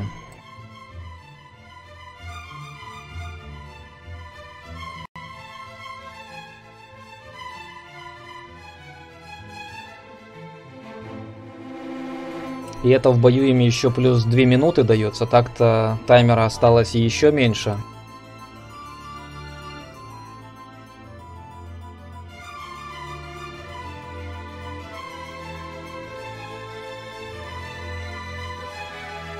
Архи сейчас будут кого-то поднимать, да, и владыки, возможно, тоже кого-то продемонят. Нет, не стали демонить, кстати. А, забирает некросапожки.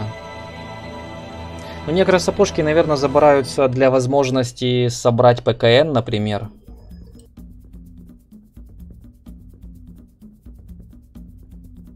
Стингера смотрел давно, его мегатемп с потерями всегда внушает оптимизм. Ну и смотрится это достаточно интересно, то есть когда игрок играет на грани своего поражения даже. Ну вот, например, как раньше Амилу играл, сейчас я не знаю, а вот раньше Амилу прям очень часто рисковал.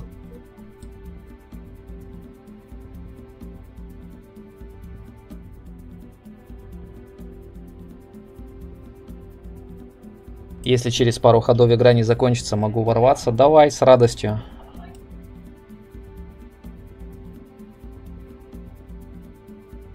Я игру до этого не смотрел, поэтому я не знаю, сколько у них игра длилась а, по игровому времени. Ули, кстати, на 8 виверн выпал. И тут еще одна консерватория, это уже шестая, по-моему, для Стингера.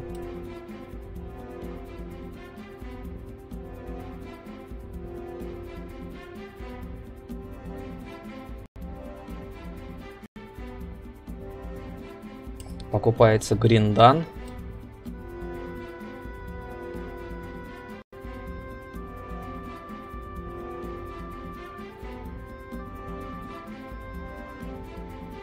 Визуально пока вроде не должно. Я, я вот тоже думаю, они, конечно, оба находятся наверху, и если Гамонгулус э, припрыгает сейчас в центр, э, то есть на инферно-зону, с инферно-зоны он уже может допрыгать сюда вниз. Но опять же на это уйдет, ну, не меньше двух дней. Два-три дня это минимум.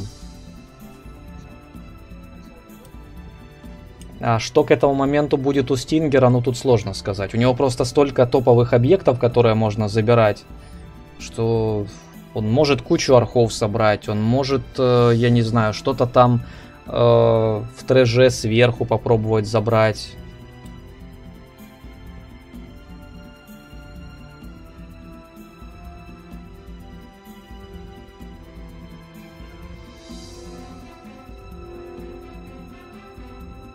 Эта катка у Витали вроде длинная. Но опять же, длин... даже если она длинная, то сложно сказать, насколько она была длинная. То есть для кого-то 2 часа длинная, для кого-то 4, а для кого-то там 6, 8, 12. Вообще герои такая игра достаточно неспешная. А, перестройку пытается сейчас э, замудрить пятого уровня и призыв огневиков. Не везет. Не везет Стингеру с контролем. Но с каждой перестройкой он э, приближается. Ждите через 5 минут, хорошо. Можем даже поставить счетчик, который будет э, тикать обратный отсчет.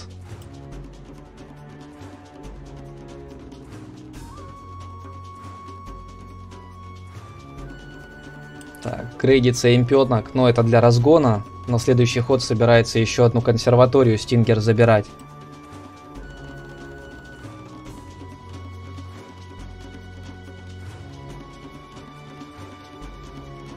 Вообще, конечно, Стингер тоже может уже попробовать брать Утопию в ближайшее время, так же, как это сделал Гамонгулс. ударная мощь за счет архов, э, она в целом будет ему позволять.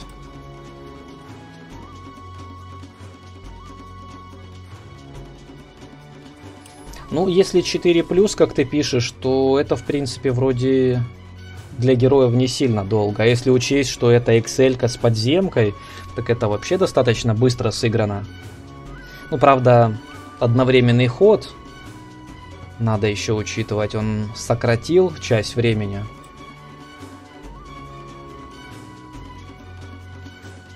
Ну, тут без ДДшек особо не полетаешь. Смотрит, куда можно прыгнуть.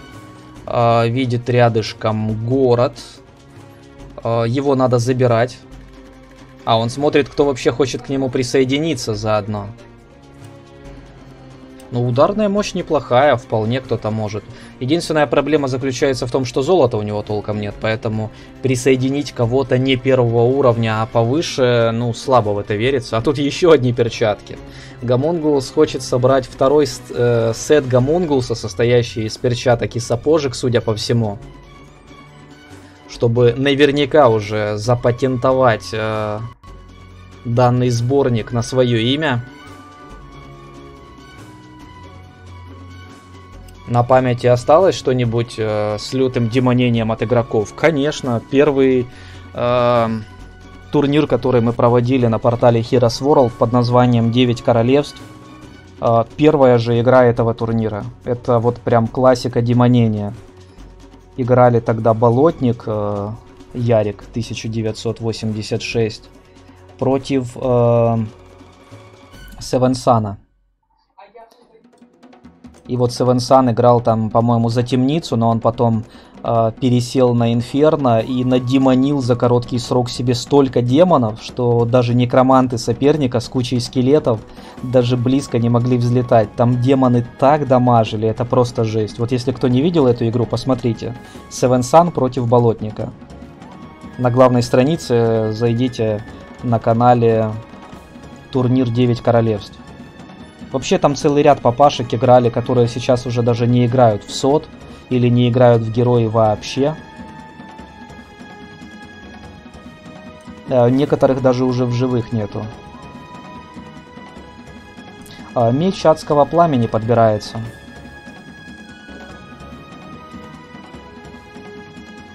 Пять стеков монахов получается.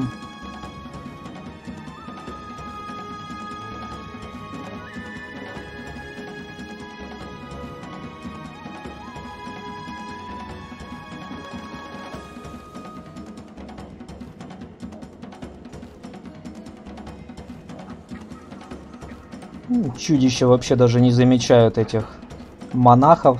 Забирается красный шар. А, и вот у Гамунгулса там книга воздуха лежит. Наверное, за книгой воздуха он сейчас и будет ДДшиться. В ближайшее время. Там заодно можно и консерваторию забрать. Так что двух зайцев одним выстрелом по факту. Эх, прыгнул таким образом, что придется либо пробивать фень. Ой-ой-ой, как же тут больно будет. Тут маны не так много.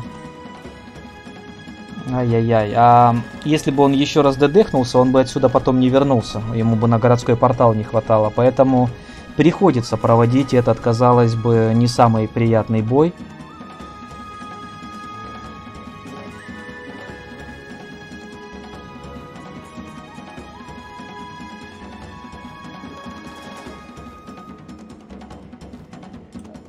Так, ну консерватория пока вроде непонятна по размеру.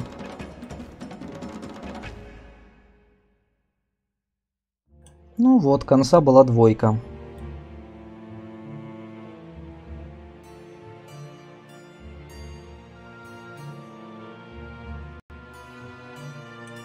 Гамунгулсу еще бы для полного счастья найти картограф, и я думаю, что эта партия уже была бы почти в шляпе у него.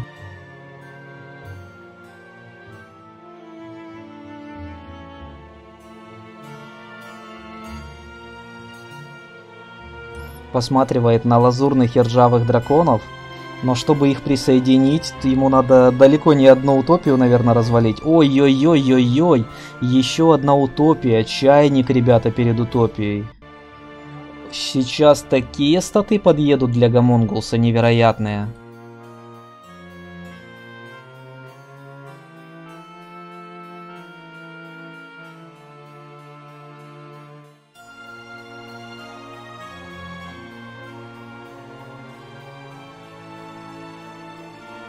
То есть я не могу сказать, что дела у Стингера идут плохо, но как только посмотришь за каждым ходом со стороны Гамунгулса, ты понимаешь, что относительно Гамунгулса там все прям, ну, как-то не то. Вот как будто чего-то не хватает. Ну и это чего-то, это, конечно же, ДД. Ну, как минимум. Первое присоединение 45 и в целом Гамунгулс соглашается на первое время присоединить даже их. Налью за Гома соточку. За здоровье, так сказать, да? Ой-ой-ой, таймер, таймер поджимает. Ну, вроде впритык, но успел походить всеми.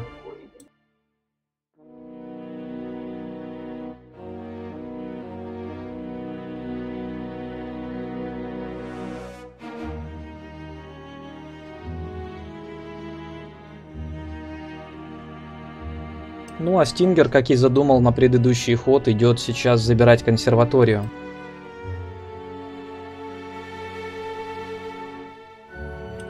Виталий либо совсем не фартит, либо наоборот. Ну, то есть в крайностях, да? Средних раскладов у Гамонгулса не бывает. Ну, в целом он изначально правильную стратегию выбрал с отстройкой гильдии. Он в целом раньше ее начал строить, раньше и получил контроль. Единственное, что Стингер не так сильно отставал по отстройке гильдии, чтобы генератор его прям так сильно начал задерживать. Это да, как раз. Так что определенная несправедливость есть, конечно. Привет, Визард.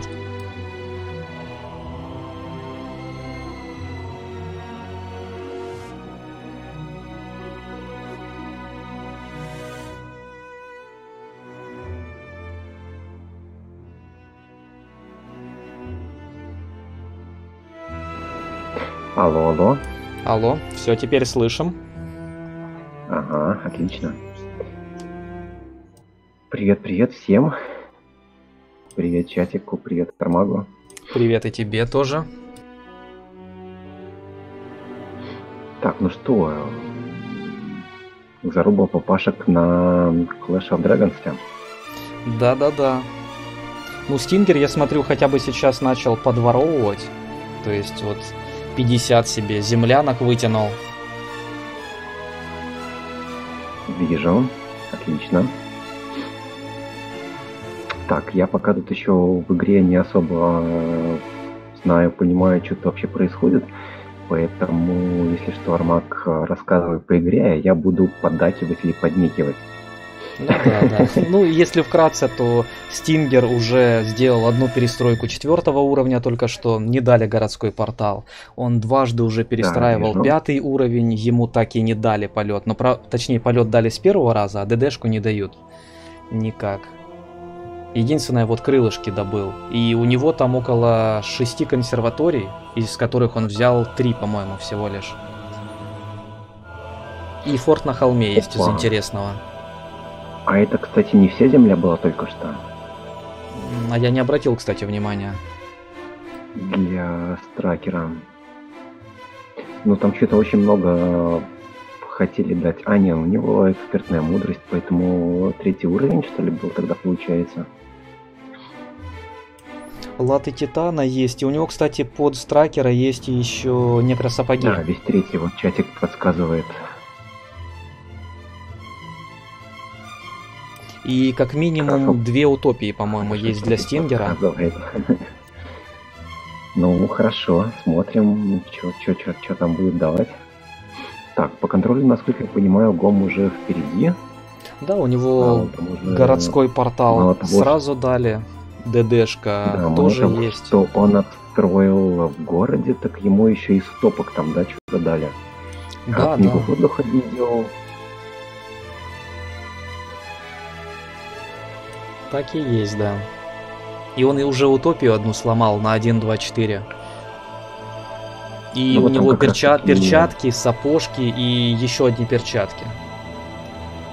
Блин, Сет понял. в сборе.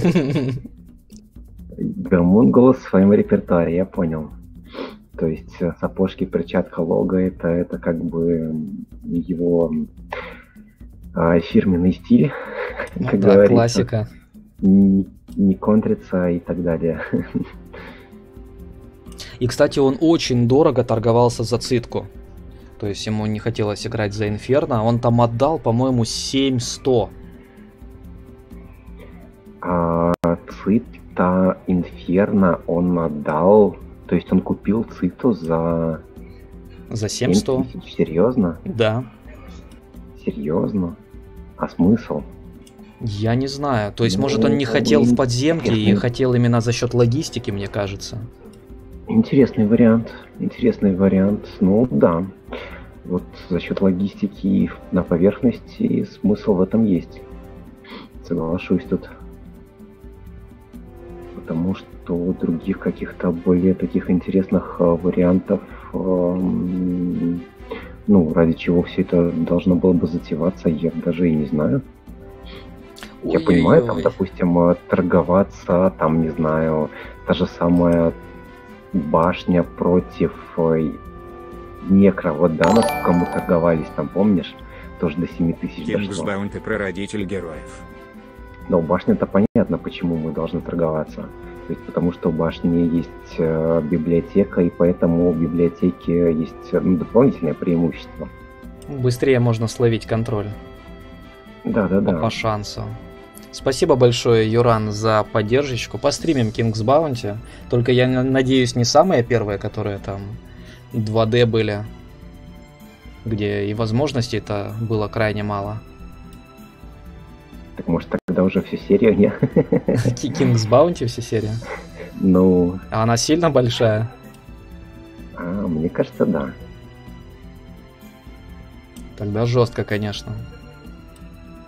Ну, если там еще папашки из чатика постараются, по- подонатят, почему бы и нет. Кстати, огонь только что Гомонкул забрал, сандали тоже стырил. А Стингер, он как раз Ну, только там под конец своего хода начал разгоняться. на огонь, кстати, только что зашла. Да, да, да. Я это видел. Как он просто прочитал эту игру. Я не знаю. А Стингер видел, как под конец хода, вот когда мы разговаривали, только начал одного героя вытянул, подобрал ящик Пандоры, там дали этих э, рогатых, у него таймер заканчивается, он там уже на тяп начал ходить, лишь бы они хоть куда-нибудь побежали. Тирис с дипломатией, кстати. Только что вытащил. Вообще жесть. Ну, вот я уже и тут я уже вижу, что по полной идут, идет чистка трежер. Как с одной стороны, с другой стороны, у Стингера, конечно же, немножко... Тут генератор, ты посмотри, как еще переживает за Гомунгулса, он ему сапоги левитации дал, говорит, там же в центре озера у вас, чтобы ты мог и там нормально Ну, перемещаться, ну. лови. Кстати, да. Блин, вот я бы на самом деле очень бы хотел увидеть, э, как бы перемещались по воде. Вот э, единственное, что показывал это Рэдди когда-то, да? Когда по воде он там поплыл. В прямом смысле этого слова. Его его и прозвали адмиралом. А вот, вот в остальных играх уже вот на- ну, настолько давно не было таких ситуаций. Вот это было бы реально интересно увидеть.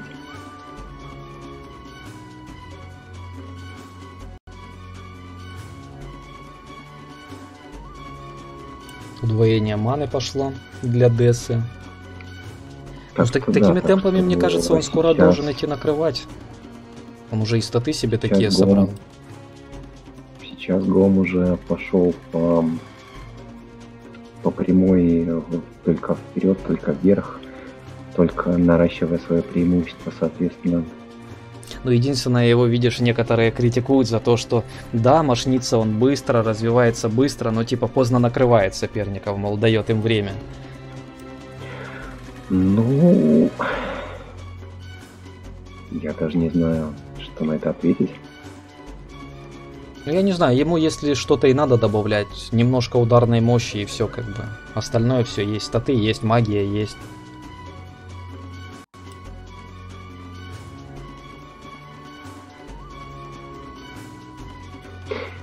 Чатик просит помедленнее, пожалуйста. Еще медленнее. Ну тут, чтобы вы понимали, ускорение идет 25% всего лишь на данный момент. Всего лишь, кстати, 25. Да. Я тоже смотрю, что сейчас... э, Ну сейчас вот, вот сделал вообще без ускорения на данный момент. настолько быстро кликает, что даже ускорение не нужно. Так тут таймер поджимает, конечно, они будут спешить там оба очень сильно.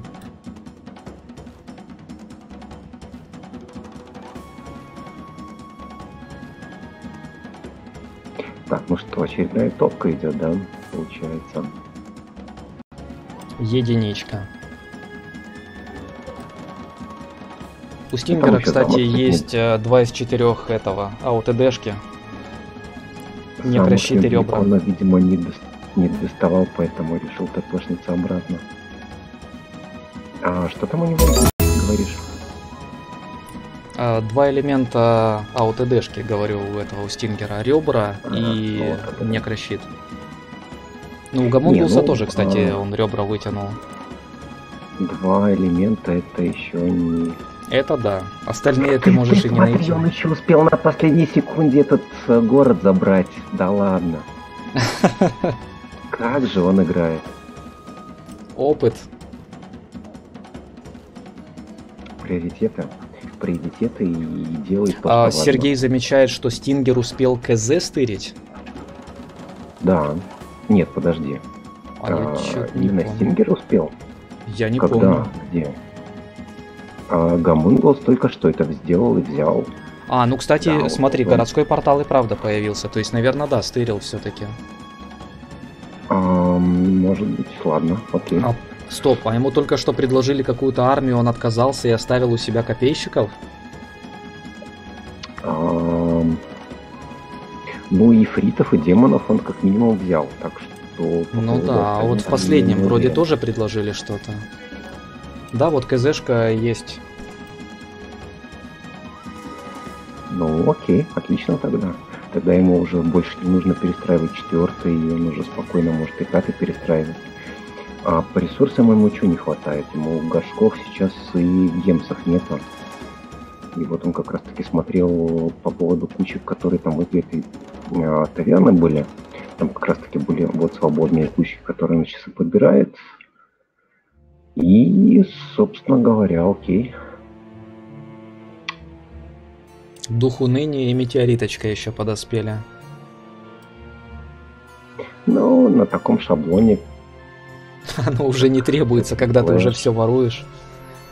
Да, это уже так- такая мелочь сравнительно, что тут уже надо о другом задумываться, более глобально, как говорится. Ну да, могилы воина всякие. Как там замечали, Стингер на третий день э, вытягивал что-то там. КЗшку, да, вроде писали. А, подожди, это в этой игре, что ли? Не, не в этой. Типа на днях вроде у него какая-то игра была. Вот в чатике э, писали ребята. Не, ну я тоже могу похвастаться, что я сам вытаскивал из могилы хороших артефактов. Так Да и со что- свитками не единожды везло там на первых неделях. Ну так в этом вся и суть, э, в конце концов, этого шаблона. Что свитки и вся эта ерунда она решает в итоге. Если вытаскиваешь и хороший артефакт, то да. Ну то Стив есть, а, Стингер забрал а как- себе а тоже, как- кстати. а как- а как по-другому играть? Как Ну да. по-другому находить преимущества раньше, чем это делает оппонент? Именно за счет могил, там, за счет вот этого всего. То есть это вполне нормальная острота. И э, У Стингера, кстати, Да. собирается тоже сет Гамонгулса. Вот он забрал сапожки, у него в подземке еще перчатки лежат. ну, отлично. А у него, кстати, есть какой-то герой с логистикой. Я вот не обратил внимания пока что у М. Стингера. А Вот не знаю, может быть один из тех, которых он из тюрем вытягивал. Ну да, из тюрем он вот там брал как раз таки коробки на опыт, и там кто-то точно ловил логистику. Ну что, потому что это уже третья или четвертая попытка. Сейчас на перестройку будет. Логистика с, логистика с контролем, она как бы тоже не менее как бы ну, нужна. И важна, и как бы решает в итоге. Если ты О, успеваешь, как говорится, все сделать. А, смотри, Стингер может сейчас вернуться в игру. Па-па-па-па, а вот у Стингера и тоже full контроль. Ну все, Вот тут начинается уже интересности на карте. Потому что по мощи армии как бы Стингер э, в последнее время вроде как обогнал Гамонгулса. Там первую неделю он мошнился, мошнился, не мог знаешь, догнать. эта самая мощность армии, она поменяется за день, так точно. Так тут иногда даже до финалок не доходит. У тебя города отжимают, бегают вокруг тебя, хороводы водят там. А ты со Да, своей тоже армией верно, метушишься тоже там. Тоже верно. Так что, да, тут как уже кто лучше воспользуется именно контролем как раз таки, а не, не именно армией. Абсолютно соглас- соглашусь. Сейчас увидим, чье мощнение будет просто пожестче. Будут забирать у друг друга из-под носа все, что только можно. Так, хорошо, смотрим. Игнат Пока говорит что. 7 частей по героям, Пока но что да. это не считая аддонов еще. У каждой части там свои аддоны.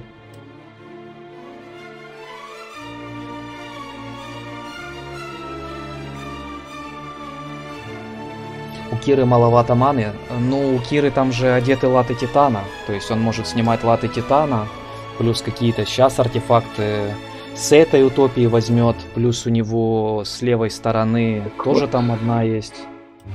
Вот да, да, сейчас подождите, пока он там возьмет утопию, возьмет еще там пару артефактов. Там вроде у него тоже где-то шлем был недалеко. Я вроде успел заметить, если это было не у Гамунгуса, а как раз таки со Стингера стороны. Мне кажется, там, ну, в смысле, есть там шлем на, на ману, так что а, с манной все должно наладиться у него тоже. Тут уже как бы начнет решать вопрос как раз таки вот именно что именно количество героев э, с контролем и именно время э, таймер и что он успеет заход сделать. То есть насколько быстро, насколько Ну тут смотри, А, кстати, ну утопия это вот. хорошая. вот он, вот он шлем, как раз таки перед утопой, ну сверху утопа, вот он, Мгм. о чем я и говорил. Так а он еще, видишь, подзаработал Зоро-то и сразу смотрит, а драконы хотят присоединиться или нет. А, да, хороший На момент. присоединять сейчас Но, мне лазурных, кажется, сказочных, это... сейчас была чуть-чуть поважнее, чуть-чуть поважнее. Это да. И это нельзя пропустить, и надо отметить обязательно, что Кира сейчас получила логистику. Так что, да, сейчас Тингер уже прям таки вот почти что нагнал Гома, и, по крайней мере, по темпу освоения карты он не отстает. А там уже как сложится дальше, уже будем смотреть. Да, а мощь армии у него всегда есть где добирать. У него там порядка четырех невзятых э, консерваторий, с которых ты сразу себе архов делаешь в форте. Ну, как сразу. Понимаешь, это знаешь, сколько времени это занимает, чтобы сделать цепочки до... Ну, у него, видишь, как городской портал-то появился уже. Вот до, до Конс, А да, вот Конс сделать- долго брать. А потом сделать цепочки до городского портала. Ой, в смысле, ну, до, до этого, до, До форта. А, да, а потом еще это все вернуть. Ну, то есть, э, ну, на это надо потратиться. Скажем так, это Да, да. Ну вот у него самая загвоздка это как раз взять эти концы. А форт ему повезло. Форт прям перед городом стоит, то есть ты быстро перемещаешься А, и сразу окей, делаешь. окей, хорошо. А вот, Вот, э, так концы, да, там что- разбросаны так, что ну, дня два, наверное, придется убить на них. Ну вот, поэтому, если, допустим, строить только на них цепочки, то получается, вот если ты, допустим, влетаешь в трэжак и открываешь тюрьму, то тебе там тоже нужны герои, соответственно. И ты не можешь уже лишних героев потратить, вот, ну, допустим, просто к концу взять да, на респе.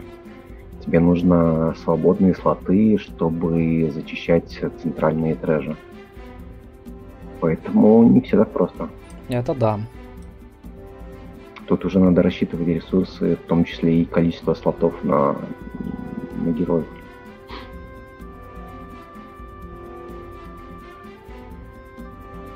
Ну, это такой небольшой инсайт по поводу того, над чем, допустим, папашки думает. Ну, то есть, эм,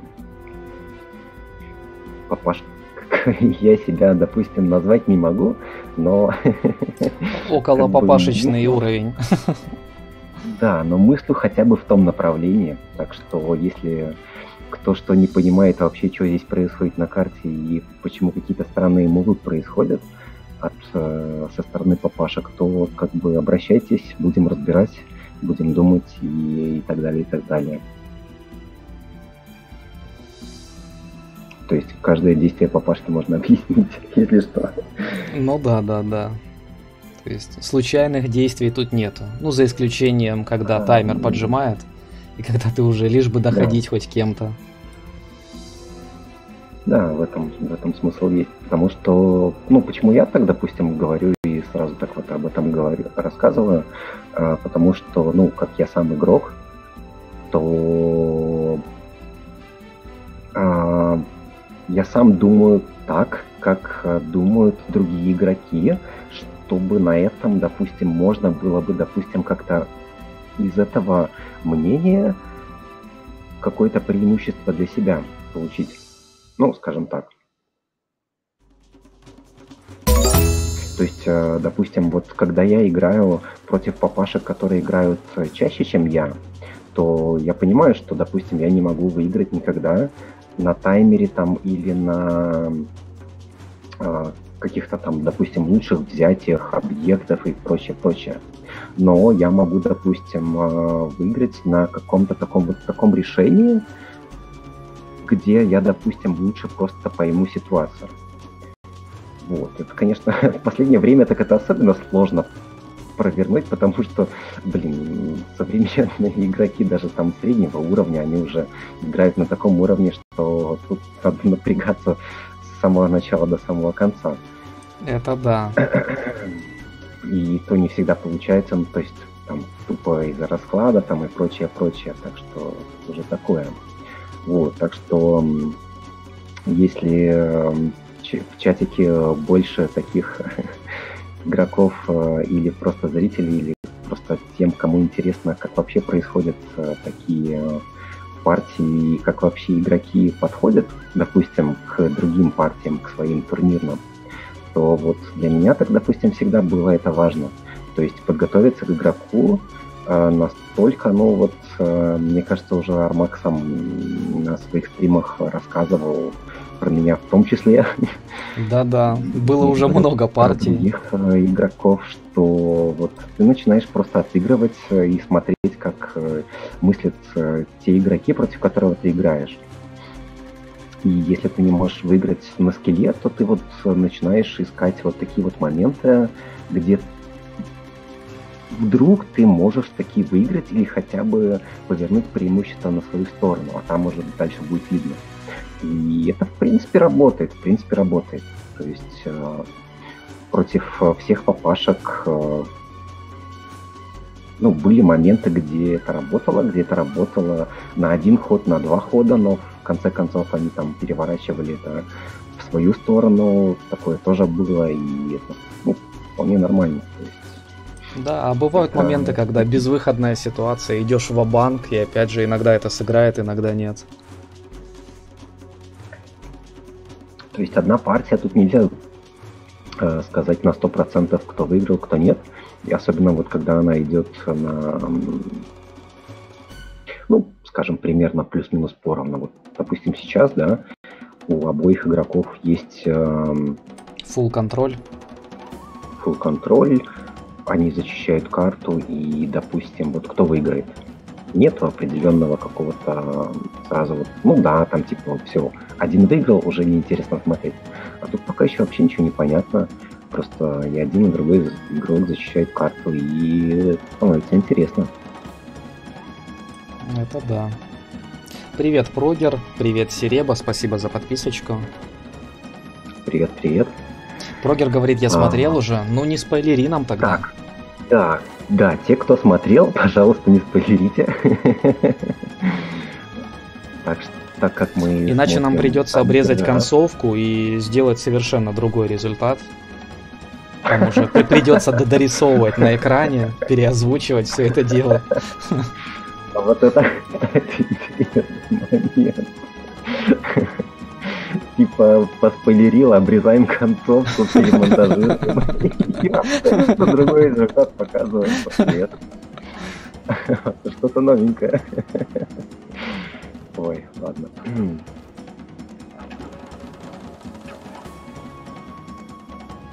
Гамунгл, кстати, тут утопию добрал, птичек присоединил. Да-да-да. Артефактов наворовал. Как, как раз таки смотрит, кого можно присоединить. Присоединил птичек. И отлично, интересно. Ну да. И, кстати, у них большое озеро, я не знаю, будет кто-то шляпу адмирала собирать или нет. Чтобы по морю проплыть. Да, понятно. Не, а так там же баг-то рабочий. То есть было бы реально эпично. Флешмод-то не исправил баг, как показала практика. Если бы так сделали. Тут как раз э, против Хорватии, да. когда Прогер играл, он тут уже собрал шляпку адмирала и накрыл оппонента. Че, серьезно так было? Да. Причем нам казалось, что там фрешмод и плагины все это дело исправляют. Ничего подобного. Все работает, отлично работает. Но, правда, собрать ее не так просто, конечно. Обычно ты не успеваешь. Ну, собрать, да. И плюс еще тебе нужно и как бы таймер, чтобы это все дело провернуть.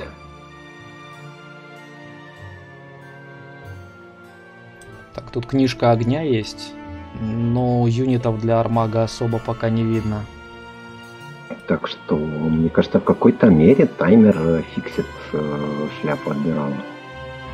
Особенно на таких шаблонах, которые как раз таки богатые, и тебе нужно ну, очень много времени, чтобы все остальное собрать. Ну а, да. Там, Пока ты нафармишь мувы, сейчас... ты одним героем и походишь по факту. Сейчас так уже это, ну, просто как бы бонус был бы дополнительный, если бы ты успел собрать еще эту шляпу и еще мувов нафармить. Но это уж такое, блин.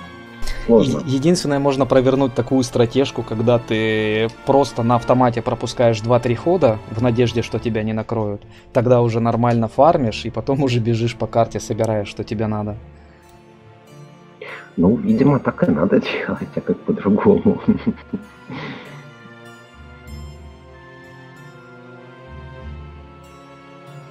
Я бы просто смог бы представить. Стингер очередную консерваторию валяет. Это уже будет э, 8 архов. Ну, пока что у Стингера более такой классический, классическое отыгрывание, классический, скажем так, э, генерация. Ну, консерватории насыпала, поэтому их и собирает, то есть... О, Грим там тем временем и дипломатию отсыпал немножко.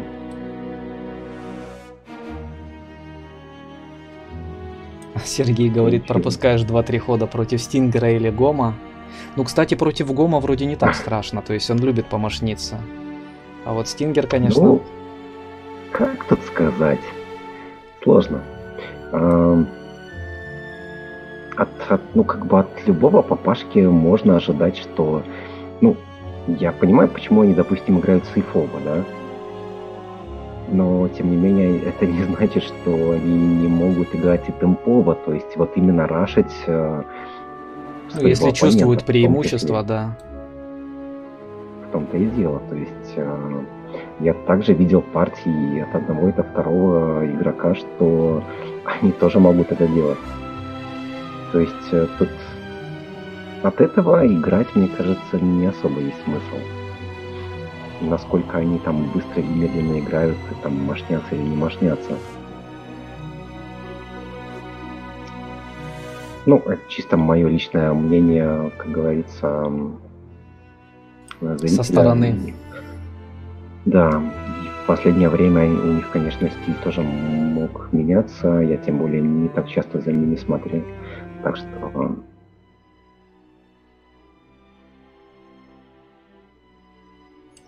Ну вот как раз свозил армию, дозагрейдил полученных трех ангелочков. Mm-hmm. Ну, главное, чтобы это ему слишком не сказалось на, на времени зачистки карты. Ну да, да, да, само собой. Пока что еще сколько у него там получается? Почти 4 минуты. Вполне нормально. И сейчас идет, соответственно, следующую зону искать. Э, там каких-то ништяков. Ну, в основном, я смотрю, идет э, а ставка на сбор утопии, да. на поиск утопии. Причем с двух сторон. Куда он, кстати? Да, куда он, кстати, прыгает? Вот я что хотел спросить. А там Где снизу там, слева, там вроде утопия есть. То есть он, наверное, идет ну, вот добирать утопию. Да, как раз таки я увидел, у него там герой стоит в той стороне. И за счет этих э, элементалей он тогда еще одну брал утопию, насколько я помню. И вот, да-да-да, как раз таки он до нее добирается, даже еще через дополнительную тюрьму. Ну, надо спешить, да. Но пока что они мошнятся Даже в разных зонах, интересы не совпали. Даже через две тюрьмы получается. Вообще, если бы таймера было много, то в теории вообще трыжаки очень можно было бы чист, э, быстро, точнее, чистить. Согласен, в принципе. То есть, если у тебя будет времени не только, чтобы там ворваться, да, и там что-то каких-то пару коробок взять, каких-то пару тюрем открыть, а там прямо вот так досконально посчитать мувы, что тебе хватает мувов от одной тюрьмы до другой, а там дальше еще, а там дальше еще. Это, это было бы, конечно, грязно. В том плане, что можно было бы таким способом всю трэжу зачистить заход. А кстати, это же в партии твоей против э, Бенниса, по-моему, было, когда сгенерила столько тюрем, что в таверне не было героев. Да-да-да, он что-то там писал как раз таки в. То есть я такого вообще не помню. Ну, я тоже не встречал. Да сколько тюрем должно было появиться? Героев-то невероятно много. Ну, могу сказать, а, плюс-минус в более точных числах. Это было бы штук 120 где-то героев чтобы в таверне начинали после выкупа первых героев, чтобы уже пустые слоты начинали идти. Так что да. Ну, Клэш-то он, в принципе, большой шаблон. Ну да, и Но со сами дрожаки большие. 120 тюрем это еще надо умудриться влепить где-то. Ну, в один трэжак я не знаю, ну, пускай там от силы, ну, 20 тюрем влезет, больше вроде генератор не лепил.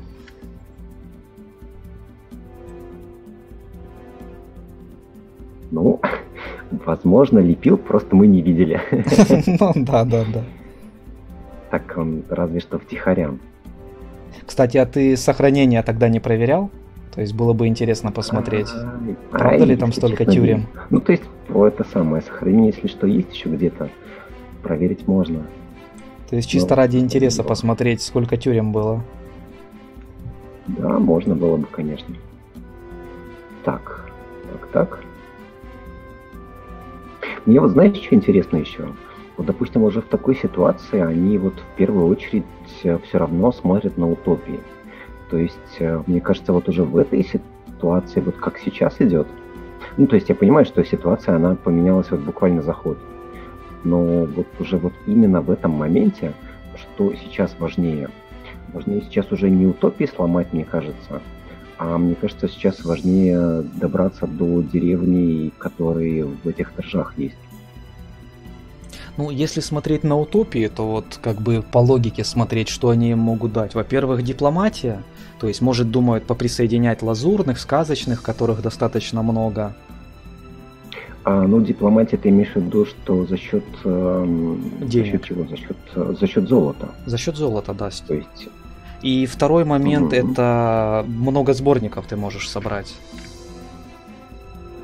Ну, За счет утопии. Сборников пока что ни одного не видим. Вроде как. Ну, по крайней мере, чтобы с одной стороны собиралось, э, да. И магия там тем временем случайно зашла. Из коробки очередной. На Киру. Ну, это так, про между прочим. Ну да, это сейчас прям- это уже как бы не удивляет после всего, что они получили. Типа, Да-да-да. Ну, просто как-то обычный день. решало. Ну, просто мне кажется, что вот э, как раз-таки вот э, захватывание этих деревенек, они бы просто, ну, на следующий ход э, дали бы больше возможностей и больше пространства для разворота. Там же идет дорога, то есть, а если идет дорога, то там по-любому должна быть где-то деревня в конце. Тут Десса Вот, решила поэтому- разведку покачать. Поэтому мне вот как раз таки интересно, почему, допустим, а, в первую очередь был приоритет отдан утопии, а, скажем, не деревне. Мне кажется, здесь есть момент для размышления.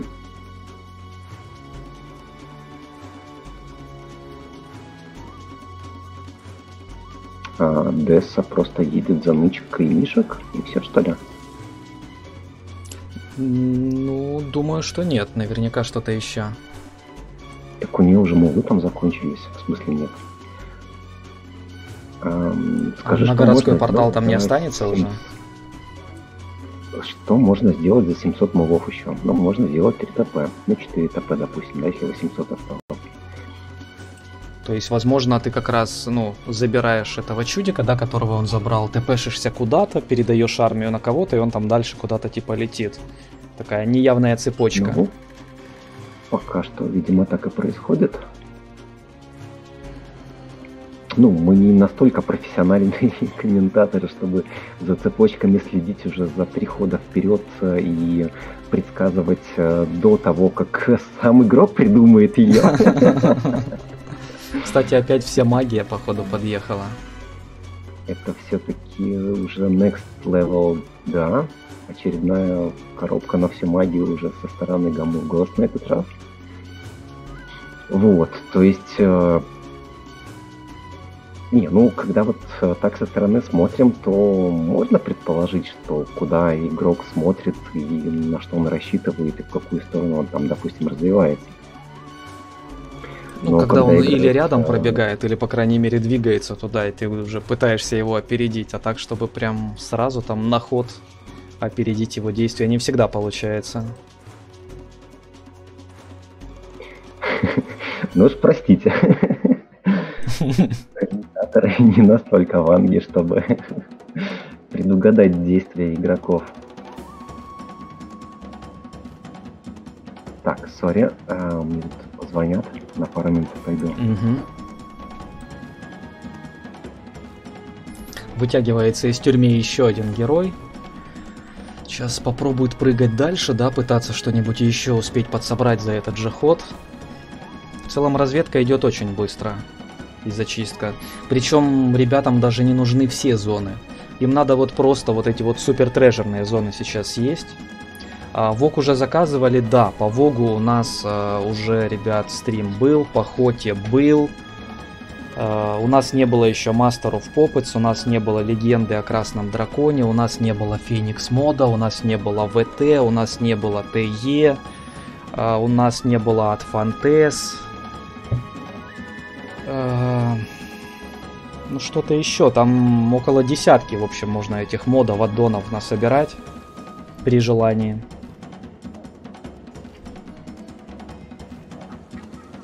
Картограф! Ой-ой-ой, как же это низко. Просто удар под дых для Стингера сейчас делает Гамунгулс. Вот теперь он будет контролировать передвижение соперника по всей карте.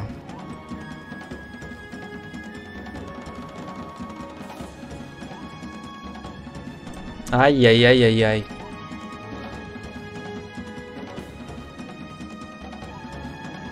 На трубе не было, да, на ютубе оно тоже будет заливаться, но немножко позже.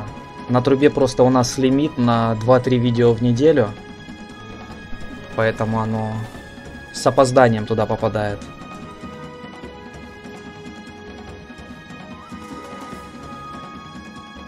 Дотягивается еще до одного героя. Надо кого-то или удалять. Да, будут удалять. И удаляется кто, как не Кси. Опять удаляют Кси. Не угодил этот герой.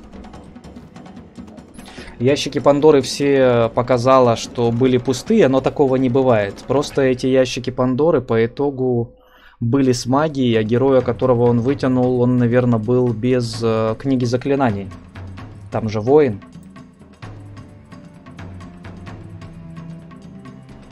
Или же просто у него уже все это дело было. Или мудрость не позволила.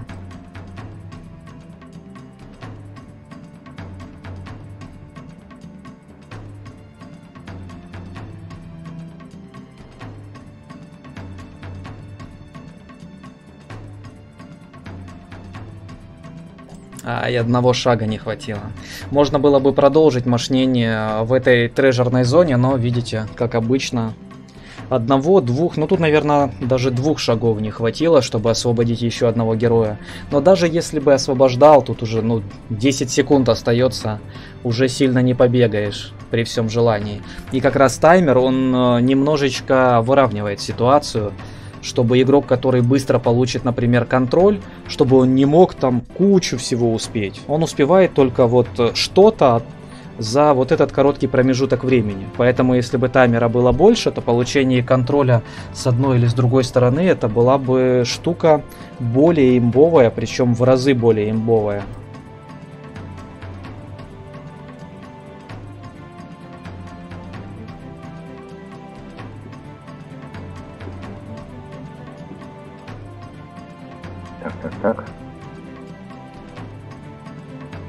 Стингер тут посматривает э, насчет присоединения черных и лазурных, и на сказочных тоже. Ну, звучит неплохо.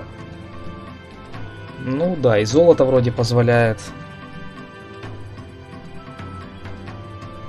Но надо только, чтобы они захотели. Лазурный сказочный. Так подожди, ты говоришь, что захотели, в смысле он посматривает он уже проверял их или еще нет? Или как там что Ну, он их до этого проверял. А, потом решил, ладно, немножечко подмашнюсь. Подмашнился и сейчас опять э, кастует э, видение, чтобы посмотреть, может что-то изменилось. Может уже кто-то из них захотел. Потому что до этого не а, хотели. Я понял, я понял. То есть э, он это рассматривает как win condition получается. Ну да, да, да. То есть, э, чтобы присоединились и уже, как говорится, можно было бы вполне себя комфортно чувствовать э, на карте. Да, кстати, по, ты пропустил по там э, Гамунгулс э, картограф подобрал. Почему я не удивлен? Ну, то есть я, конечно, удивлен, но не настолько.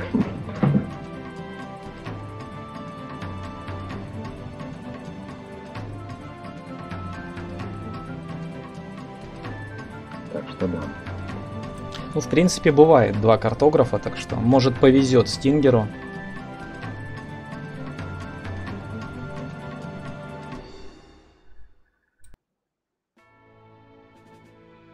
Звучит как-то немножко грустновато, нет? Может быть. Ну да, это уже типа один играет на скеле, а второй на надежде, да? Ну вот как-то вот пока что получается, что ли? Или даже один играет на лаке, а второй на надежде. Ой, какой прыжок был, был, посмотрите, вот это прыжок на глазок. Так. Ну, сейчас вот буквально секунду, и я все увижу. Не, подожди, так а куда там на глазок-то прыжок должен быть? Я пока что не понял. Ну, как раз э, в одно единственное место. Там больше никуда и не прыгнешь. О, так тут Стингер, смотри, уже э, достает до одного из ложков вражеских. Да, да, да, да.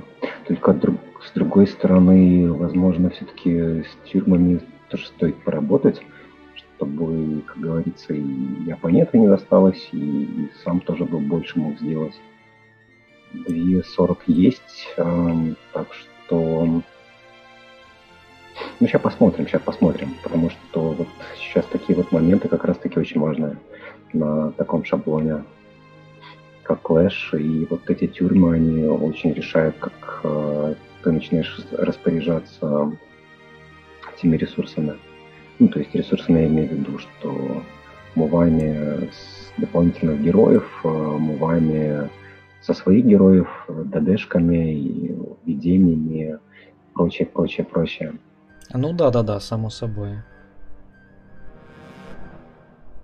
Вот как раз он достает а, до одной из тюрем.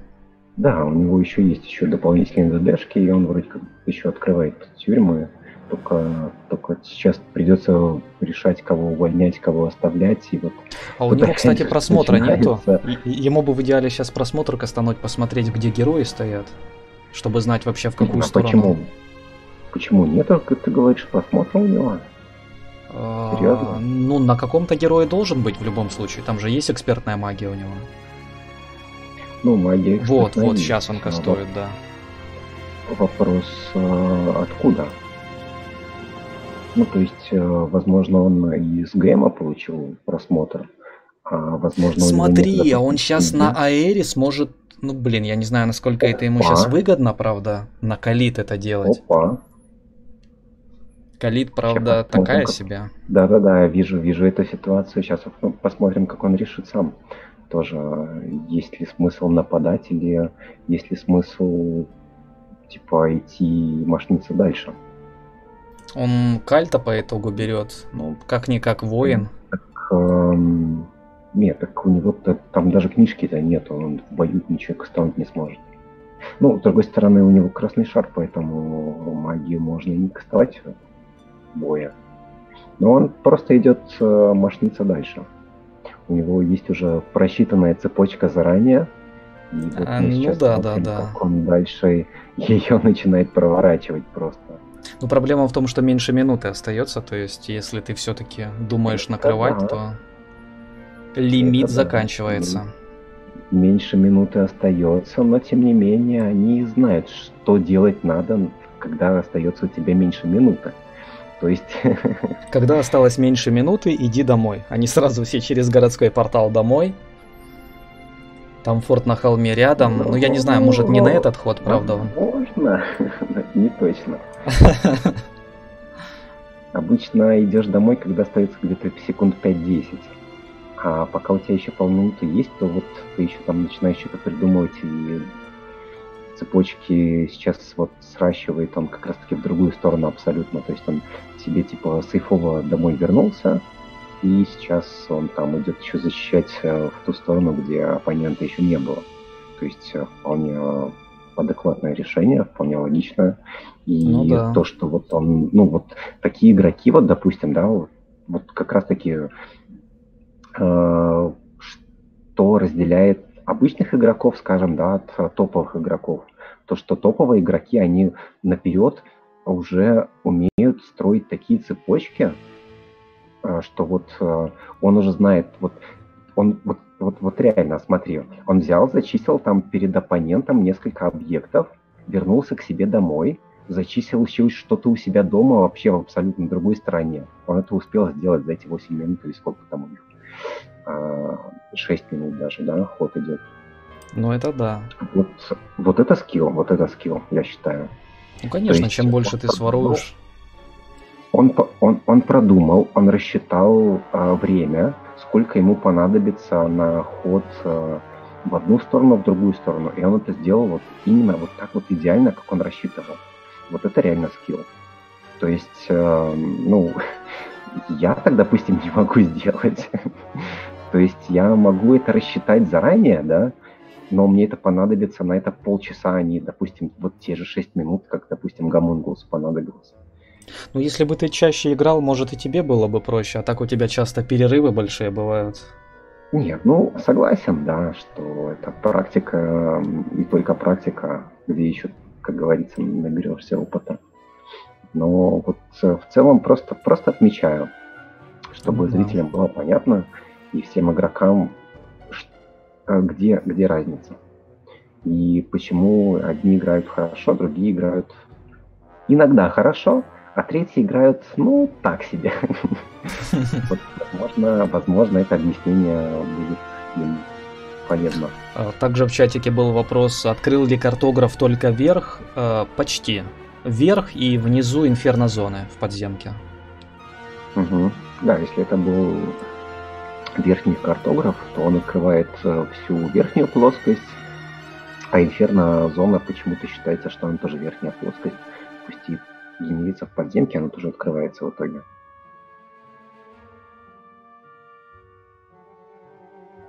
Так что как-то так.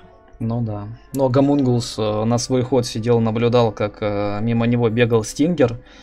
Наверное, с ожиданием, нападет, не нападет. В итоге не напал. Да, мне кажется, он не наблюдал, а он смотрел, куда ему на следующий ход идти. Потому что, ну, то есть, конечно, следить за оппонентом это тоже нужно и важно. И потому что так можно как бы и поймать оппонента, допустим, на той же ошибке. Ну, конечно. Ну, как минимум, пока он бегал рядом, надо было прокликать, кто это бегает, главный герой или нет. Ну, знаешь, когда Прокликать это армию, типа, какая армия там есть, и ты уже примерно понимаешь. Ага, у, тебя, у него тут в такие диапазоны по юнитам. Когда в тражаках ты начинаешь открывать э, героев, то там уже потом начинается сложности с определением, кто в итоге мейн. Так что... Ну да. Да и с юнитами тоже. Казалось бы, вот ты видел одну армию, а на следующий ход там уже она совсем другая. Да-да-да, ты открываешь три коробки, и тебе дают 3 ЧД, 3 ЧД, 3 ЧД. И ты такой, а, типа дополнительный стек ЧД появился, я понял, окей. Ну, это только, допустим, с одного места, с коробок а ты там заход открываешь коробок штук 10 и тоже все может поменяться кардинально. Так что да.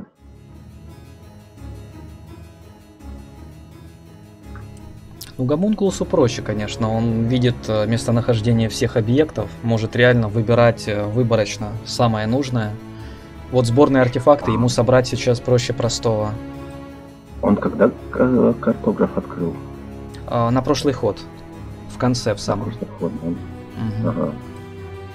Ну вот он как раз таки, наверное, сейчас и должен на, на свой ход сидеть и рассматривать всю карту.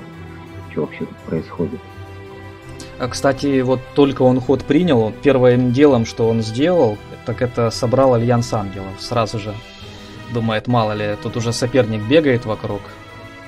А у нас красный шарик есть. Но если вдруг захочет напасть каким-то способом, каким он, допустим, сам не видит, да, там тоже всякие разные порталы там бывают, а, где ты не рассчитываешь просто, что может оппонент через них пробежать. Ты смотри, какой Джойн хороший. Сколько, сколько там драконов? 27 было. 27, 27 золотых, да. да. Да, сильно. Вот это было сильно. И вот э, что вы скажете? Сейчас уже абсолютно непонятно. Ну, то есть 27 драконов это, конечно, нереальный плюс под красным шаром и под альянсом тем более. Да, да, да. Да, и даже тех же птичек взять, у него там их э, почти 90, да? Ну да. Почти 90. 85 как минимум. Но мне кажется, он уже не смотрит настолько, что там птички прям так должны сильно порешать. Ну да, да. А вот 27 золотых, это, это да. Это уже мощь. Вот, кстати, вот, интересно, а если бы Стингер тогда бегал главным героем, нападал бы он на Эрис для того, чтобы разменяться по армии? А, черт его знает, потому что здесь, здесь есть место для дискуссии. Я просто помню Ну, какую-то игру, когда играл Гамонгулс и начинает ДДшиться к сопернику, э, становится перед его городом и видит, что в городе армии оказалось больше, чем он, э, типа, надеялся. И он говорит, ну чё, раз пришли, значит, все равно делаем размен, и по итогу все равно атакует.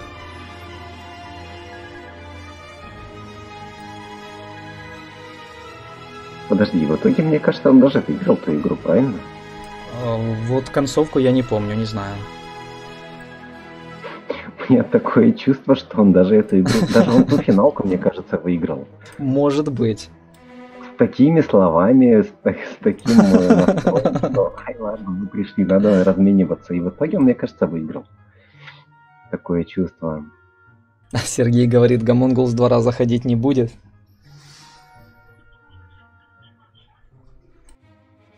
Блин, я, я вот вспоминаю, допустим, нашу еще последнюю игру с Беннисом, когда пока я додешился до его города ближайшего и пропустил, что там мейн где-то стоит в полях. Да-да-да.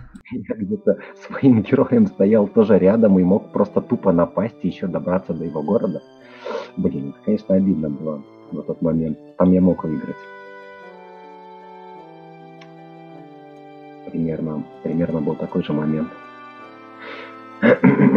Раз пришли, надо нападать. В городе было нападать не на кого, а в поле я просто не увидел героя. Ну да ладно, что было, то было. Стингер все так же прокликивает, кого же присоединить. Ну, кстати, золото начинает потихоньку заканчиваться, то есть, ну, хороший какой-нибудь стек может присоединить, а потом опять надо бежать за утопиями. А, и, ну я понял, они типа это самое берут в приоритет э, утопии ради того, чтобы набрать золото, чтобы потом можно было наджойнить что-то. Да-да-да. Ну, в случае со Стингером, Джойны ему лучше в том плане, у него же форт. Ну, хотя, в принципе, про этот форт Ну. уже знает Гамонгулс, уже все как бы. Картограф э, не оставил секретов. Не, ну даже если знает, ну а что, что, что меняется в итоге? Ну, например, он может, э, когда будет идти накрывать, например, Стингера, он может параллельно сначала форт сбегать, если надо какие, кого-то загрейдить, грейдишь, и потом только уже накрываешь. Ты имеешь в виду, что если эм, Гамунгус пойдет, то перед нападением у него будет э, тоже Выбор шанс какой-то, да. эм, э, загрызть своих войск тоже. То есть он будет видеть, в каком месте это можно сделать. Я понял. Окей. Ну да. Ну, основные стеки у него, конечно, и так грейженые. Там птицы грейженые, мишки грейженые, э, драконы грейженые. Но может в теории кто-то там еще появится такой. Гом просто не разменивается на негрейшные войска. Экономия. Экономия, ну. А кстати, я вот смотрю, очень много охраны именно золотых драконов стоит. Он же в теории может еще присоединять. И фармить именно один конкретный жесткий стек. Ну, если они пойдут э, джойниться туда, почему бы нет? Сергей говорит, э, пойдет Грааль копать. Ну вообще Стингер больше проверял обелиски. Гамонгулс как-то даже не заморачивался. Так а тут уже, мне кажется, в такой ситуации даже играть особо не нужен. Ну, Он уже как бы магия есть, да. играть. Армия есть. В том-то, и- в том-то и дело, что сейчас вот в такой ситуации Граль будет играть только в минус, потому что ты потратишь очень много времени на Граль, чтобы его выкопать, вместо того, чтобы вот, вот делать всякие там грязные штучки, там типа при- присоединить войска, там, например. Резать Ам, э, ложков соперника. Ну, вот, Города да, отжимать. да, это, уже намного более полезно. Даже если ты не видишь карты всей полной, но у тебя есть просмотры, то этого вполне достаточно. Ну да, это уже как дополнительное нормально. усложнение тебе идет. Типа ты там граали собираешь, сборники собираешь всякие, квесты выполняешь. Так, а Это уже с баловство другой больше. стороны, как говорится, а куда этот граль еще ставить? Вот-вот. Ну, например, есть, если а- бы Грааль был, например, допустим, у Стингера, да, и он там в какой-нибудь башенке строит, чтобы карту засветить. Такая замена типа Ну, картографу. видишь, ну, у нас даже башенки нету. Так в Подожди, том-то и дело, а, нет, да. Подожди. Башня Есть есть у башенка, Гамонгулса. там- Не, подожди. А, все, понял, да. Мы сейчас переключились на Гамунгус, у него есть башенка деревня, все, да, вижу. Да, у Стингера нету башни деревни, даже Флакса нету деревни, так что... Говорят, как куда у него инферно есть. Ну, так в смысле инферно?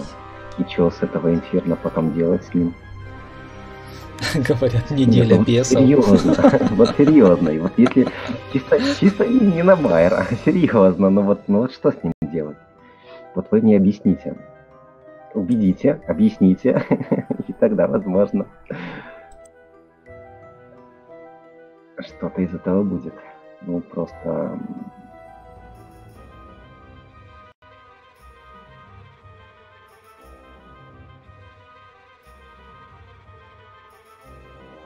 Ой-ой-ой, тут еще и железные големы говорят. Гамонгулс, возьми нас с собой. Да не, я не знаю, зачем он сюда идет. А, ну, типа, ради дополнительного разгона на них напал, чтобы два раза во флаг войти. Ну да, да, да. Ну ему просто по пути э, все вот А, эти ну, вот прыжки. Все, все, все, он уже идет к Стингеру. Он сейчас, вижу. кстати, себе архов А. сделает на форте. Так вот, мне кажется, он как раз таки туда и идет. Вот как раз мы разговаривали про форт. Он и правда перед э, тем, как Ну. атаковать, решил на форт идти. Первым делом он даже не заходит в деревню, он просто прокликивает фол, форт на холме, и все, сразу делает архов. Да ты ТПшил за тобой! Просто идеальный план. Как сделать архов на халяву? Прийти к оппоненту, забрать деревеньку, загрейдить архов и вернуться домой. Вообще ничего больше не нужно. Там Ну напрягать да. оппонента пофиг. Правда, Вот, сейчас там. он э, Дессой спалил э, Альянс. Хотя это да. он, он, наверное, вообще накроет сейчас же армию или нет? Да, он сейчас накрывает армию, то есть э, А, ему без разницы. а то, где у что него сейчас армия? А, в- под Напомни, утопией пожалуйста. Гамунгл шел А, на... все. Да-да-да, все, вижу. Вот он Киру сейчас прокликивает. Ну, кстати, да, он может это сделать. В смысле, он даже Десы может напасть. Ну, Десса у него, в принципе, и была мейном же. Ну, так-то да. Правда, нет оружия, доспехов, но, как бы, я думаю, не сильно страшно. Реально прокачанная это самое. Статы у Деса есть, так что... Мне кажется, надо нападать. 18-16 против 28-26. Ну По да. армии явно больше.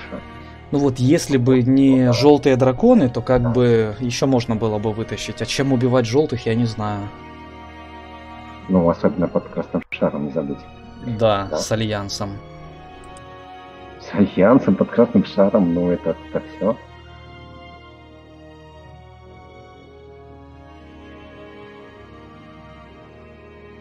Как говорится, поиграно. Да. То есть э, расщ- рассчитано прям вот, вот я даже не знаю. Ну, то есть э, в игре там эти мелочи, ну, не, не посчитаешь, но, блин, это опять же настолько сошлось все эти мелочи, что вот, вот сейчас... А, подожди, он купился, что ли? Да, откуп, потому что 70 э, тысяч золота стало. То есть Стингер Хм. готов еще пободаться. У него шаклов не было. Блин, а что я думал, что у него шаклы есть? А шаклов, по-моему, и у одного, и у второго еще нету. Ну да, да. Я что-то просто, ну ладно, мне, видимо, привиделось из другой игры, это были.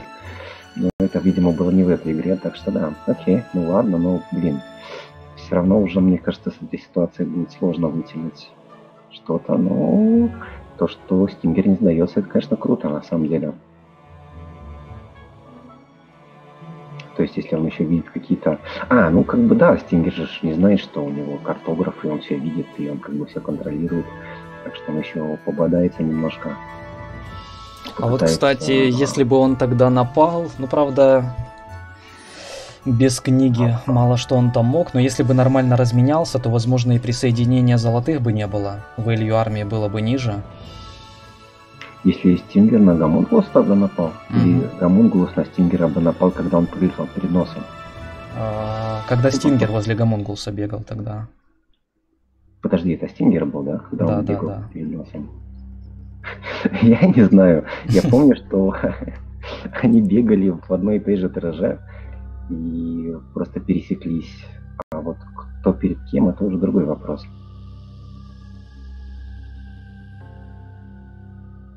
Но если было так, то да. Ну, нет, ну, в тот момент, мне кажется, надо было нападать. То есть, э, ну, риск определенный, конечно, есть в таком нападении. Там, я думаю, больше 50% э, то, что обычно тебе такой, э, такое нападение в минус обычно идет на процентов 60, скажем. Но вот в тот момент, возможно, стоило так делать. Не поверишь, но мне кажется, стоило. Вот я тоже слишком, допустим, сейфово играю, хоть я вот, допустим, и рассчитываю эти варианты и шансы, ну, типа проценты, сколько на сколько там, допустим, обычно бывает, но я все равно говорю, да не, ну, ну, ну нет, ну типа... Так а ты видел, что сейчас сделал Гомунгулс еще? Давай даже там эти 70% мы не будем так рисковать. И в итоге оборачивается на- как раз таки наоборот. Так что пока что, пока что, по моим наблюдениям, возможно, этот риск стоит того.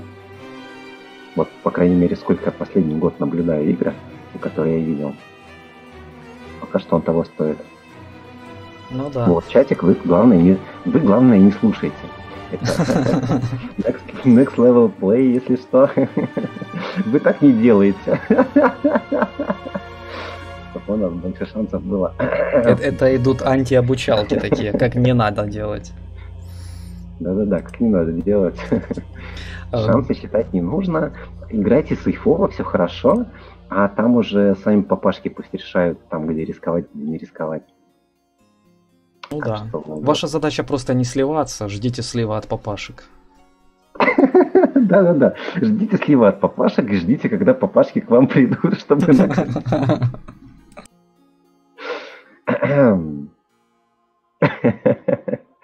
Ой, ладно.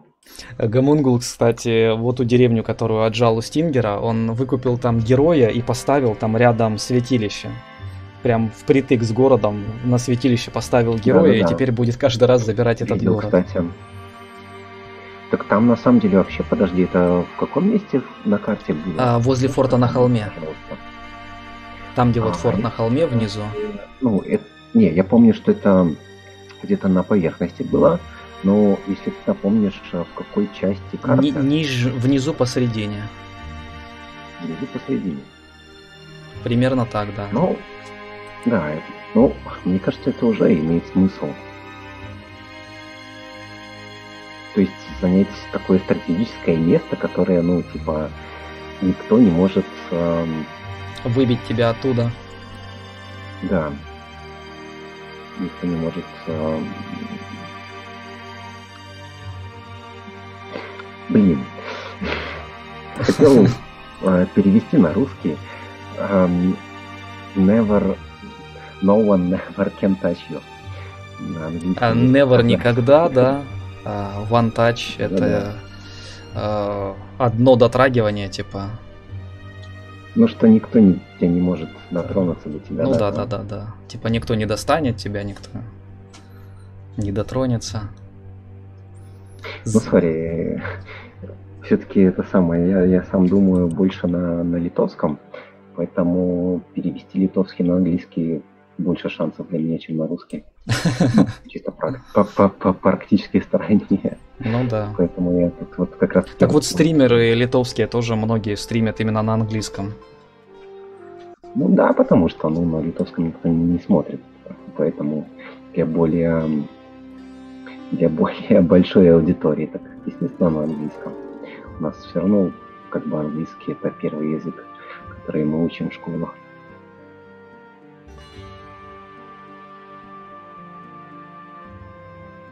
Лабас вакарас, лабас вакарас. Это доброго вечера, если что, на литовском. Ну, единственное, наверное, не русскими буквами пишется, да? Не, ну это... Ну, просто в чатике написали Лобосфакарс. Так они, смотри, каждое слово с большой буквы, это имя, фамилия. Как это переводится? Да мне кажется, это, это, это уже не важно, это там эти а, а, автоматические алгоритмы это делали. Так, мы, кстати, если что, смотрим за Стингером, и он там пытается освоить подземку сейчас настолько, насколько это возможно.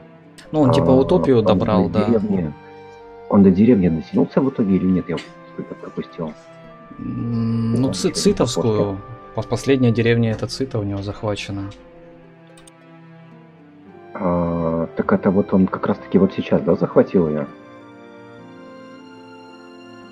Ну, вроде да, я не помню, Циты же вроде не было у на него. Этот ход. На этот ход. Ну тогда пока что отлично. Пока что мне нравится. То есть захватил дополнительный город, сейчас у него откроются дополнительные возможности, чтобы эту... А, ну правильно, да, он взял эту топку сейчас и взял город. То есть вот сейчас у него будет возможность э, покрутиться вокруг где-то. Вообще, кстати, в подземке ему находиться безопаснее, потому что соперник ничего не знает о подземке. Ну, по, по ну, крайней мере, о расположении этих э, Он как бы как, как, бы как бы тоже не знает, что там сверху все-таки картограф есть. То есть, э, мне кажется, Стингер думал, ну, максимум, максимум, то, что э, Гамунгулус его нашел по просмотрам воздуха. Ну, возможно, да. Сюда, потому что он просто идет сюда, да, потому что это не, не то чтобы сейфови, а просто потому что дальше от оппонента. То есть он в подземке оппонентов не видел, и поэтому он идет сюда дальше мошниться, там, с теми же звездочками, там, и так далее, по мини-карте тоже видит. Ну, вполне логично, почему бы нет. 4 ДД, тем более... Ну да, только что был Джоин, присоединил 37 единорогов, причем в грейженном виде Надо сразу. Пользоваться. Посмотрел, где находятся города, и выходит сейчас в зоне, которая контролируется соперником. Ну да, да, да. Тут по-любому надо возвращаться домой. Ну, сейчас он просто... Ну, он попробует дедехнуться, но да, тут оставаться нельзя. По максимуму разведает, там дедешнится вперед, насколько это возможно, посмотрит, что там вообще происходит, чтобы потом в дальнейшем видеть э, перемещение оппонента потенциальное. Но там уже дальше будет видно. Ну, то есть он тоже явно, что не достанет до города ни до какого. Вот, все, уже ДД закончились. Ну вот, последний просмотр, и как бы все. Ну да. А, блин, так было близко, кстати, я только что заметил. Он так хотел туда ДДшнуться. До этого данжа. Блин, это реально было близко. Да, приходится опять возвращаться. Такой момент, вроде, опять же, такой момент вот вроде бы как бы не такой критичный, ну, то есть не такой значимый, но если бы у него получилось бы это провернуть, это было бы очень сильно. То есть, ну, во-первых, это минус один бы... раскачанный герой для соперника был бы. И, и минус город важный. город, который находится в вполне таком стратегическом месте. Ну да, ближе к центру карты. Да-да-да, да-да-да абсолютно. Так что, в принципе, ну, мне нравится этот ход. То есть э, соперник, конечно, в течение хода мог этот город вернуть, но он бы целый ход потратил на то, чтобы бегать за ним. Да, да. И не мошниться. Ему пришлось бы тратить... Блин, и тут два, два, две клеточки не хватает, чтобы добежать до деревни. Да ладно. А, ну вот, все, нашел он двухтысячного героя, сейчас добежит. все, отжал обратно. Ту деревню, которая возле Хилфорта. Ай, ну так после того Хилфорта, так вот как раз таки гомунгуловский герой стоит в святилище. Да-да-да, вот я его как раз имел в виду. Блин, ну это, это, это, это... Теперь надо каждый ход заканчивать тем, чтобы здесь оставалась какая-то армия. Да без шанса. Ну, то есть... Э, не.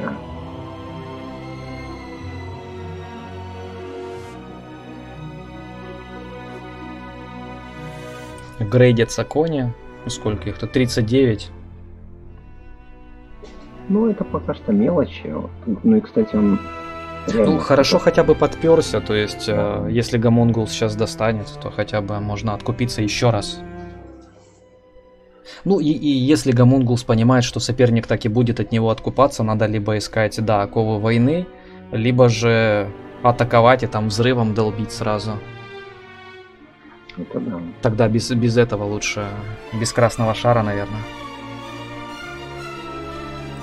Ну, видишь, он особо тоже не, это самое, не форсирует события, просто бегает, э, забирает деревни. И, ну, учитывая то, что у него картограф, так это ему вполне себе актуально. То есть э, просто объекты сейчас придет собирает. Уже утопии берутся без потерь даже на быстрой битве. Да, да. Даже да. с импятами. Да, тут в принципе, армия тут уже... Ну, ну тут быстрая битва уже подыгрывает победителю, наверное. Говорит, да ладно, что там это ничего уже не решит.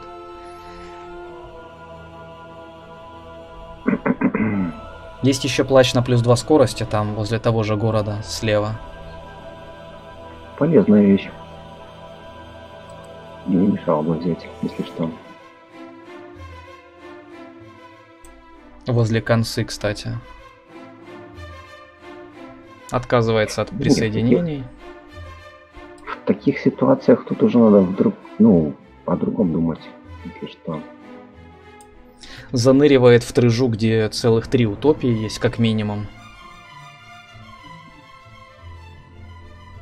И он еще город хочет тут забрать. Тогда он по-быстрому сможет позабирать все эти утопии за один ход. Ну, если таймер позволит. Да, тут э, важнее на самом деле вот такие города забирать, э, чтобы потом уже другие герои смогли зону защищать э, самостоятельно. Тюрьмы тоже важны. То есть тут важны уже, ну вот, на такой стадии а, не то, что ты как бы делаешь, а вот именно вот такие вот моменты.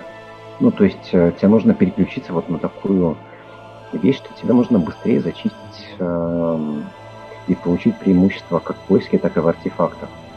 Тебе не нужны там консы, тебе не нужны вообще ничего. Говорят, есть... шаклы нашлись.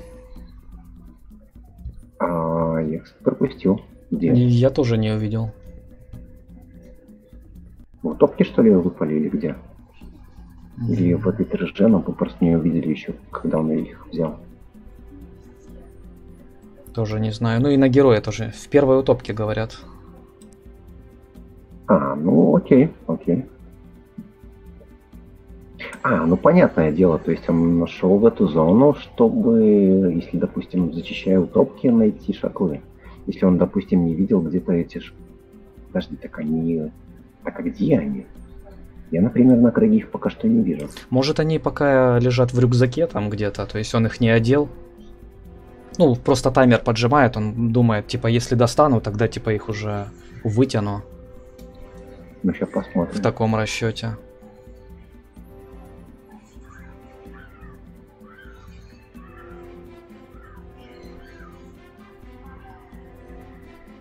Тут еще надо постараться увидеть, как говорится.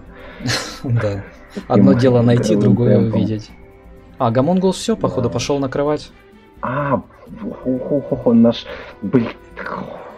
С красным шариком, шаклы. Я... Это ГГ, ребят, тогда. Так вы... Да, да, вижу, все шаклы есть. Так, блин, насколько он рассчитал, за... опять же, но мне кажется, заход, ну вот за, за эти, там, не знаю, 2-3 минуты рассчитать такую цепочку, вот именно чтобы накрыть оппонента, это опять же не так все просто.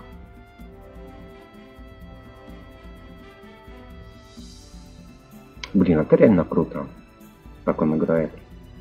То есть насколько он а, умеет а, продумать а, цепочки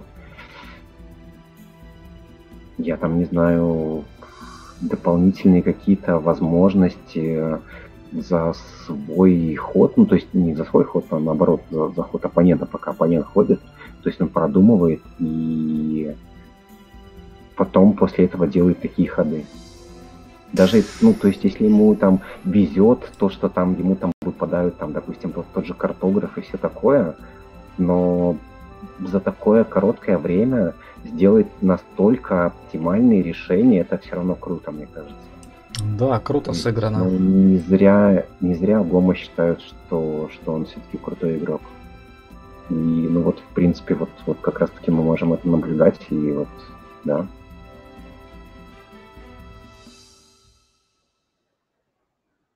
Все, Стингер сдается. Ну да, там уже без шансов не остается вариантов. Хотя, конечно, еще после первого откупа уже было понятно, что ну очень тяжко будет выкручиваться как-то. Ну, там пока еще, да, пока не было шатлов, то шансы в принципе еще были. В принципе, еще были. И главное, посмотри на пароль от Гамонгулса Гого Деса. Go Go Деса. Серьезно? А. Блин, Гом что-то знает.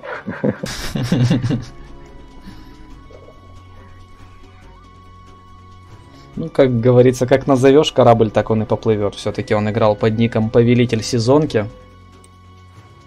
Да.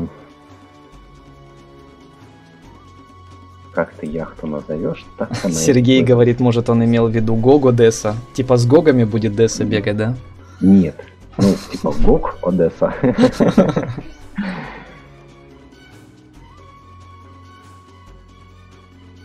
Блин, круто, конечно.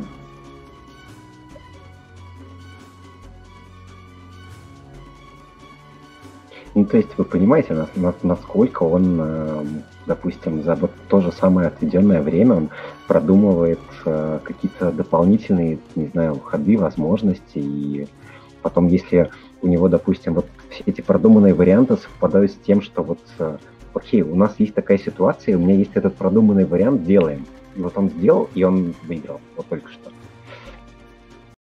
Ну, допустим, вариант. Да.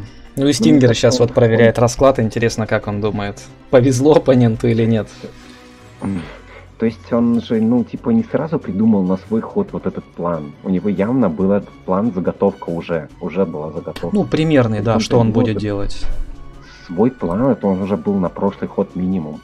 Он просто взял и сделал. Все. То есть он затратил на это минимальное количество времени. Он просто механически взял и сделал. То есть он не думал на, на свой ход практически ничего. То есть он уже это продумал ну, на, на ход ранее. Вот что я хочу. хочу ну сказать. а если еще глубже копнуть, то может тут вообще такая была психологическая игра в какой-то степени. То есть он э, за счет вот этого своего героя э, подвел соперника к тому, чтобы он здесь в конце хода оставил армию. То есть он понимал, что соперник будет дефать этот город каждый ход. За счет святилища. Сложно. Сложно. Возможно, конечно. Сергей говорит, включите но... звук Стингера, но он там с музыкой играл, к сожалению. Там у него постоянно мутится звук. Ну ты думаешь, э, игроки настолько, настолько могут сыграть? Мне даже пока что в голову не пришло, что они так могут сыграть. Ну, это типа как один из вариантов. Да, типа, ну да, ты да. не можешь быть уверен на 100%, что соперник типа не плюнет и скажет, ладно, забирай. Но, типа, таймер поджимает, и обычно ты больше играешь по таким каким-то... По тому, что тебе первое в голову приходит на автомате, когда таймер поджимает. И ты смотришь, как бы город надо дефать. Берешь и дефаешь там на последних секундах. Ну, это да, это уже автоматическая такая штука бывает, когда просто садишься в город и дефаешь. Тем более ты же не видишь э, всей ситуации у оппонента, то есть откуда он там может тебя достать. Видишь, какие города ему принадлежат, и все. А как там связи идут разных зон.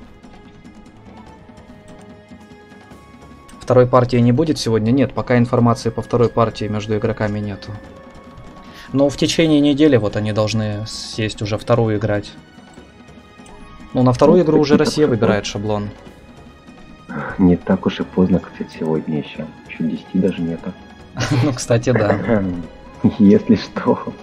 Блин, на самом деле сегодня уже такое время, как будто бы уже, не знаю, уже 2 часа ночи, хотя еще 10 нет. Странно. Ну, кстати, да, есть такое ощущение.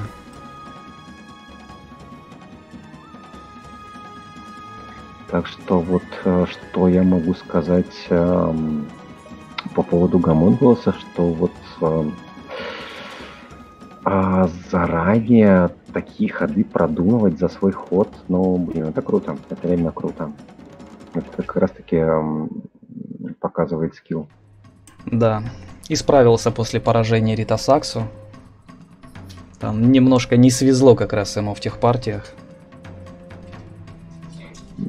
Рита залакерил немножко, ну там же они что, Джебу сыграли?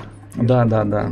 Там в одной из партий помню. Гамунгулс тогда подставился. Ну, типа, вроде как огромный стек, вроде перевес вообще в одну калитку на твоей стороне. Но откуда он знал, что там все именно так сложится? Вроде ничего не предвещало беды. Гунар говорит, на вторую игру договорились, что будет играть Стингер.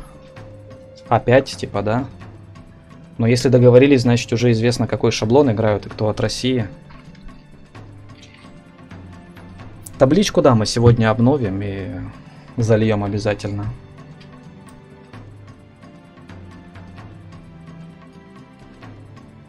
Стингеру поначалу не зашло еще. Ну как? Ему насыпало консерваторий выше крыши, но, к сожалению, с контролем ему не свезло. Он долго контроль получал. Получил бы он раньше контроль, э, возможно, ситуация по-другому бы пошла совсем. А на этом шаблоне важнее все-таки не армия начальная, а именно вот, вот магии и... И контроль, да, тоже важен. Да, ну он поэтому и не стал собирать все консерватории, то есть он взял там пару-тройку и дальше уже бегал, мошнил себе ресурсы, лишь бы хоть как-нибудь, но получить контроль. Причем он перестраивал пятый уровень, потом уже забил, ладно, думает, хотя бы четвертый, перестраивает, все равно не дают городской портал. Ну, после первой перестройки четвертому ему зато потом сразу КЗшку дали. Ну да, да, это уже генератор говорит, Ну, ладно. Как дали. На- Нашел, нашел. Нельзя сказать, что дали, нашел. Да, можно и так сказать.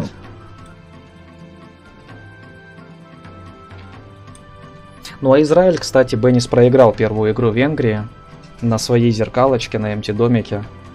Так что на вторую игру я не знаю, что они там играть будут. А мы еще, кстати, не смотрели, да, эту игру? А, смотрели. Мы ее стримили сегодня утром. А, о, блин, ладно, ясно. Придется смотреть в повторе тогда. Ну да.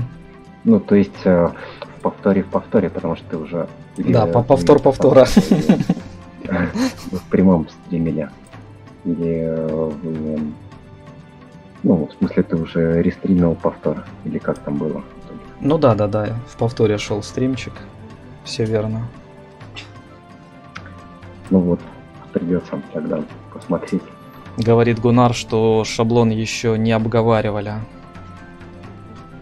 То есть нет инфы, когда следующие катки, да, пока что нету инфы, к сожалению. Но э, уже Зодмунд э, писал мне, спрашивал насчет полного списка шаблонов, которые есть. То есть он будет из этого списка выбирать. И я так понимаю, что вторую игру будет играть Зодмунд, а первую против э, Бенниса выиграл Норбак. Ну, круто, кстати. Блин, на, на доме, на МТ-доме. Прикольно. Мне нравится. Причем Беннис там, вот он очень часто, когда играет в зеркалки, он отдает первую неделю сопернику. И потом начинает догонять, обгонять, и, как обычно, с портала где-то вынырнул, все. Всю стратегию соперника убил. А тут он прям две недели бегал, пытался догнать оппонента, и был момент, когда вроде как догнал, но соперник опять начал еще больше ускоряться, и не получилось, короче, как в Ладно, это, предыдущем. это все ничего не значит, эти слова вообще ничего не значат. Давайте не будем спойлерить, если кто захочет, пусть посмотрит, э, как говорится, в повторе. потому что я все равно с этих слов ничего не понял. в партии, и я, скорее всего, буду пересматривать, так что да. Вот, поэтому лучше один раз, как говорится, посмотреть, чем, чем сто раз услышать. Конечно, конечно. Потому что мнение комментатора это только его видение того, что он увидел. Интерпретация его. Угу. А как там было на самом деле, никто не знает. Сами не увидите. Именно так.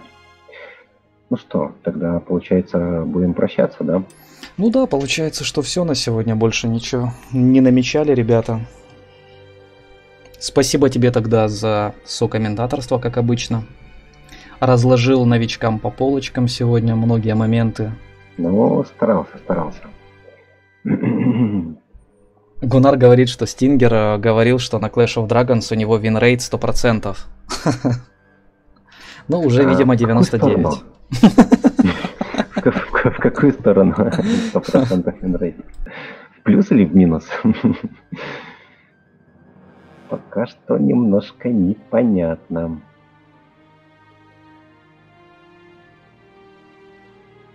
Да, ладно, все. Идем, короче, отдыхать, спать, не знаю, там. Да, да, смотреть да. другие стримы и все дела и тому подобное. Пересматривать повторы, да, смотреть, что сейчас идет. Все, кому что интересно и так далее. Я уж тоже это самое пойду отдыхать на самом деле случайно тут к вам зашел, смотрю, смотрю, Арман приглашает, пока не... Ну давай, почему бы и нет. Вообще легчайший. Так что, идем. Ладно, когда-нибудь... Хорошего быть, вечерочка тогда, быть. да, спасибо большое. Да, может быть, может быть даже еще и случайно и на этом самом World Team Cup увидимся, услышимся, как говорится. Да, Не да, обещаю, да. потому что меня, вы знаете, я могу как пропасть, так и со, с концами, потому что у меня уже героев никто не, не держит. Э, я уже свои все турнирки отыграл, проиграл, слил. Так что вполне себе спокойно могу в героев уже и не заходить. Вот. Ну это да. да. Но в любом случае была классная компания. Так что всем спасибо, что все были здесь с нами, смотрели, были, общались и так далее. И вот, всем пока и когда-нибудь, когда-нибудь еще увидимся. Да-да-да. В любом случае мы тебя в героях ждем, всегда тебя рады, так что надеемся, что будешь появляться. Ну, приятно слышать, конечно. Спасибо. И вам, ребят, тоже спасибо большое за то, что были на стриме, за вашу активность. Ждем вас на следующих стримах, как э, в данном турнире, так и, может быть, все-таки ребята соберутся и добьют третье место в турнире подписчиков. А то они что-то вообще там никак не могут состыковаться уже больше месяца. В смысле? Ну подожди, сори. Я уже хотел отключиться сказать, что в подписчиках вы до сих пор еще не добили? Третье место, ну вот игра за второе третье место никак не, не могут доиграть. Там Гунар, получается, выиграл турнир, но за второе третье место, получается, этот э, Тайкар, он может играть только днем, либо по вечерам, а Аугустус может играть только по ночам. И они никак не могут найти время. Я уже думал, сто лет они назад добили все игры и как бы и все. Ну ладно, ладно, все, все, я ушел.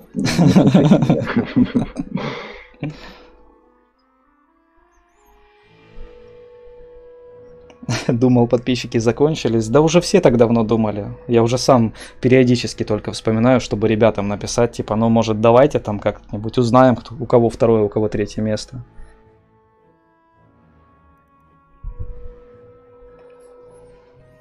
Так что все, ребят, все. Спасибо за внимание вам. Пока-пока. Завтра, возможно, если ничего не помешает, тогда постримим с вами пятые героя. Это кто был Юнипокер? Нет, это был Wizard X. Пока что я, пока что Wizard. Так а кто там? А, ты говоришь, Гунар там, да, победил в итоге? Да, да, да. Первое занял. Ну ладно, так и не получилось. Если бы я тогда выиграл, то тогда бы мы, скорее всего, с Гунаром бы, да, еще по -по -по пободались бы. Ну и ладно, на самом деле. У меня просто особо времени не было после этого, чтобы несколько времени уделить потом героям, чтобы, чтобы со всеми сыграть там кучу игр. Нет, ладно. Вот какие-нибудь шоу-матчи можно еще было поиграть вообще изи. Ну да, да, что-нибудь такое необычное, прикольное придумать. Если, если, если, как говорится, будете иметь в виду, то, то можно куда-нибудь тут какой-нибудь шоу-матч сорганизовать. Да, да, да. Все, теперь я точно ушел. Все, больше меня не будет слышать. По крайней мере, сегодня.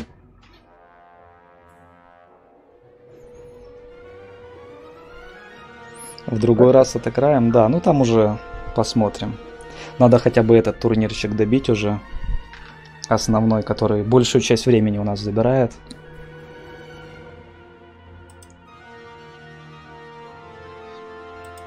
Все, тогда на этот раз точно все, я думаю. Давайте, ребят, спокойной ночи, хорошего вечера, у кого сколько времени, не знаю. Хорошего времени суток. Пока-пока. Да-да-да, на этот раз точно все. Все, всем пока.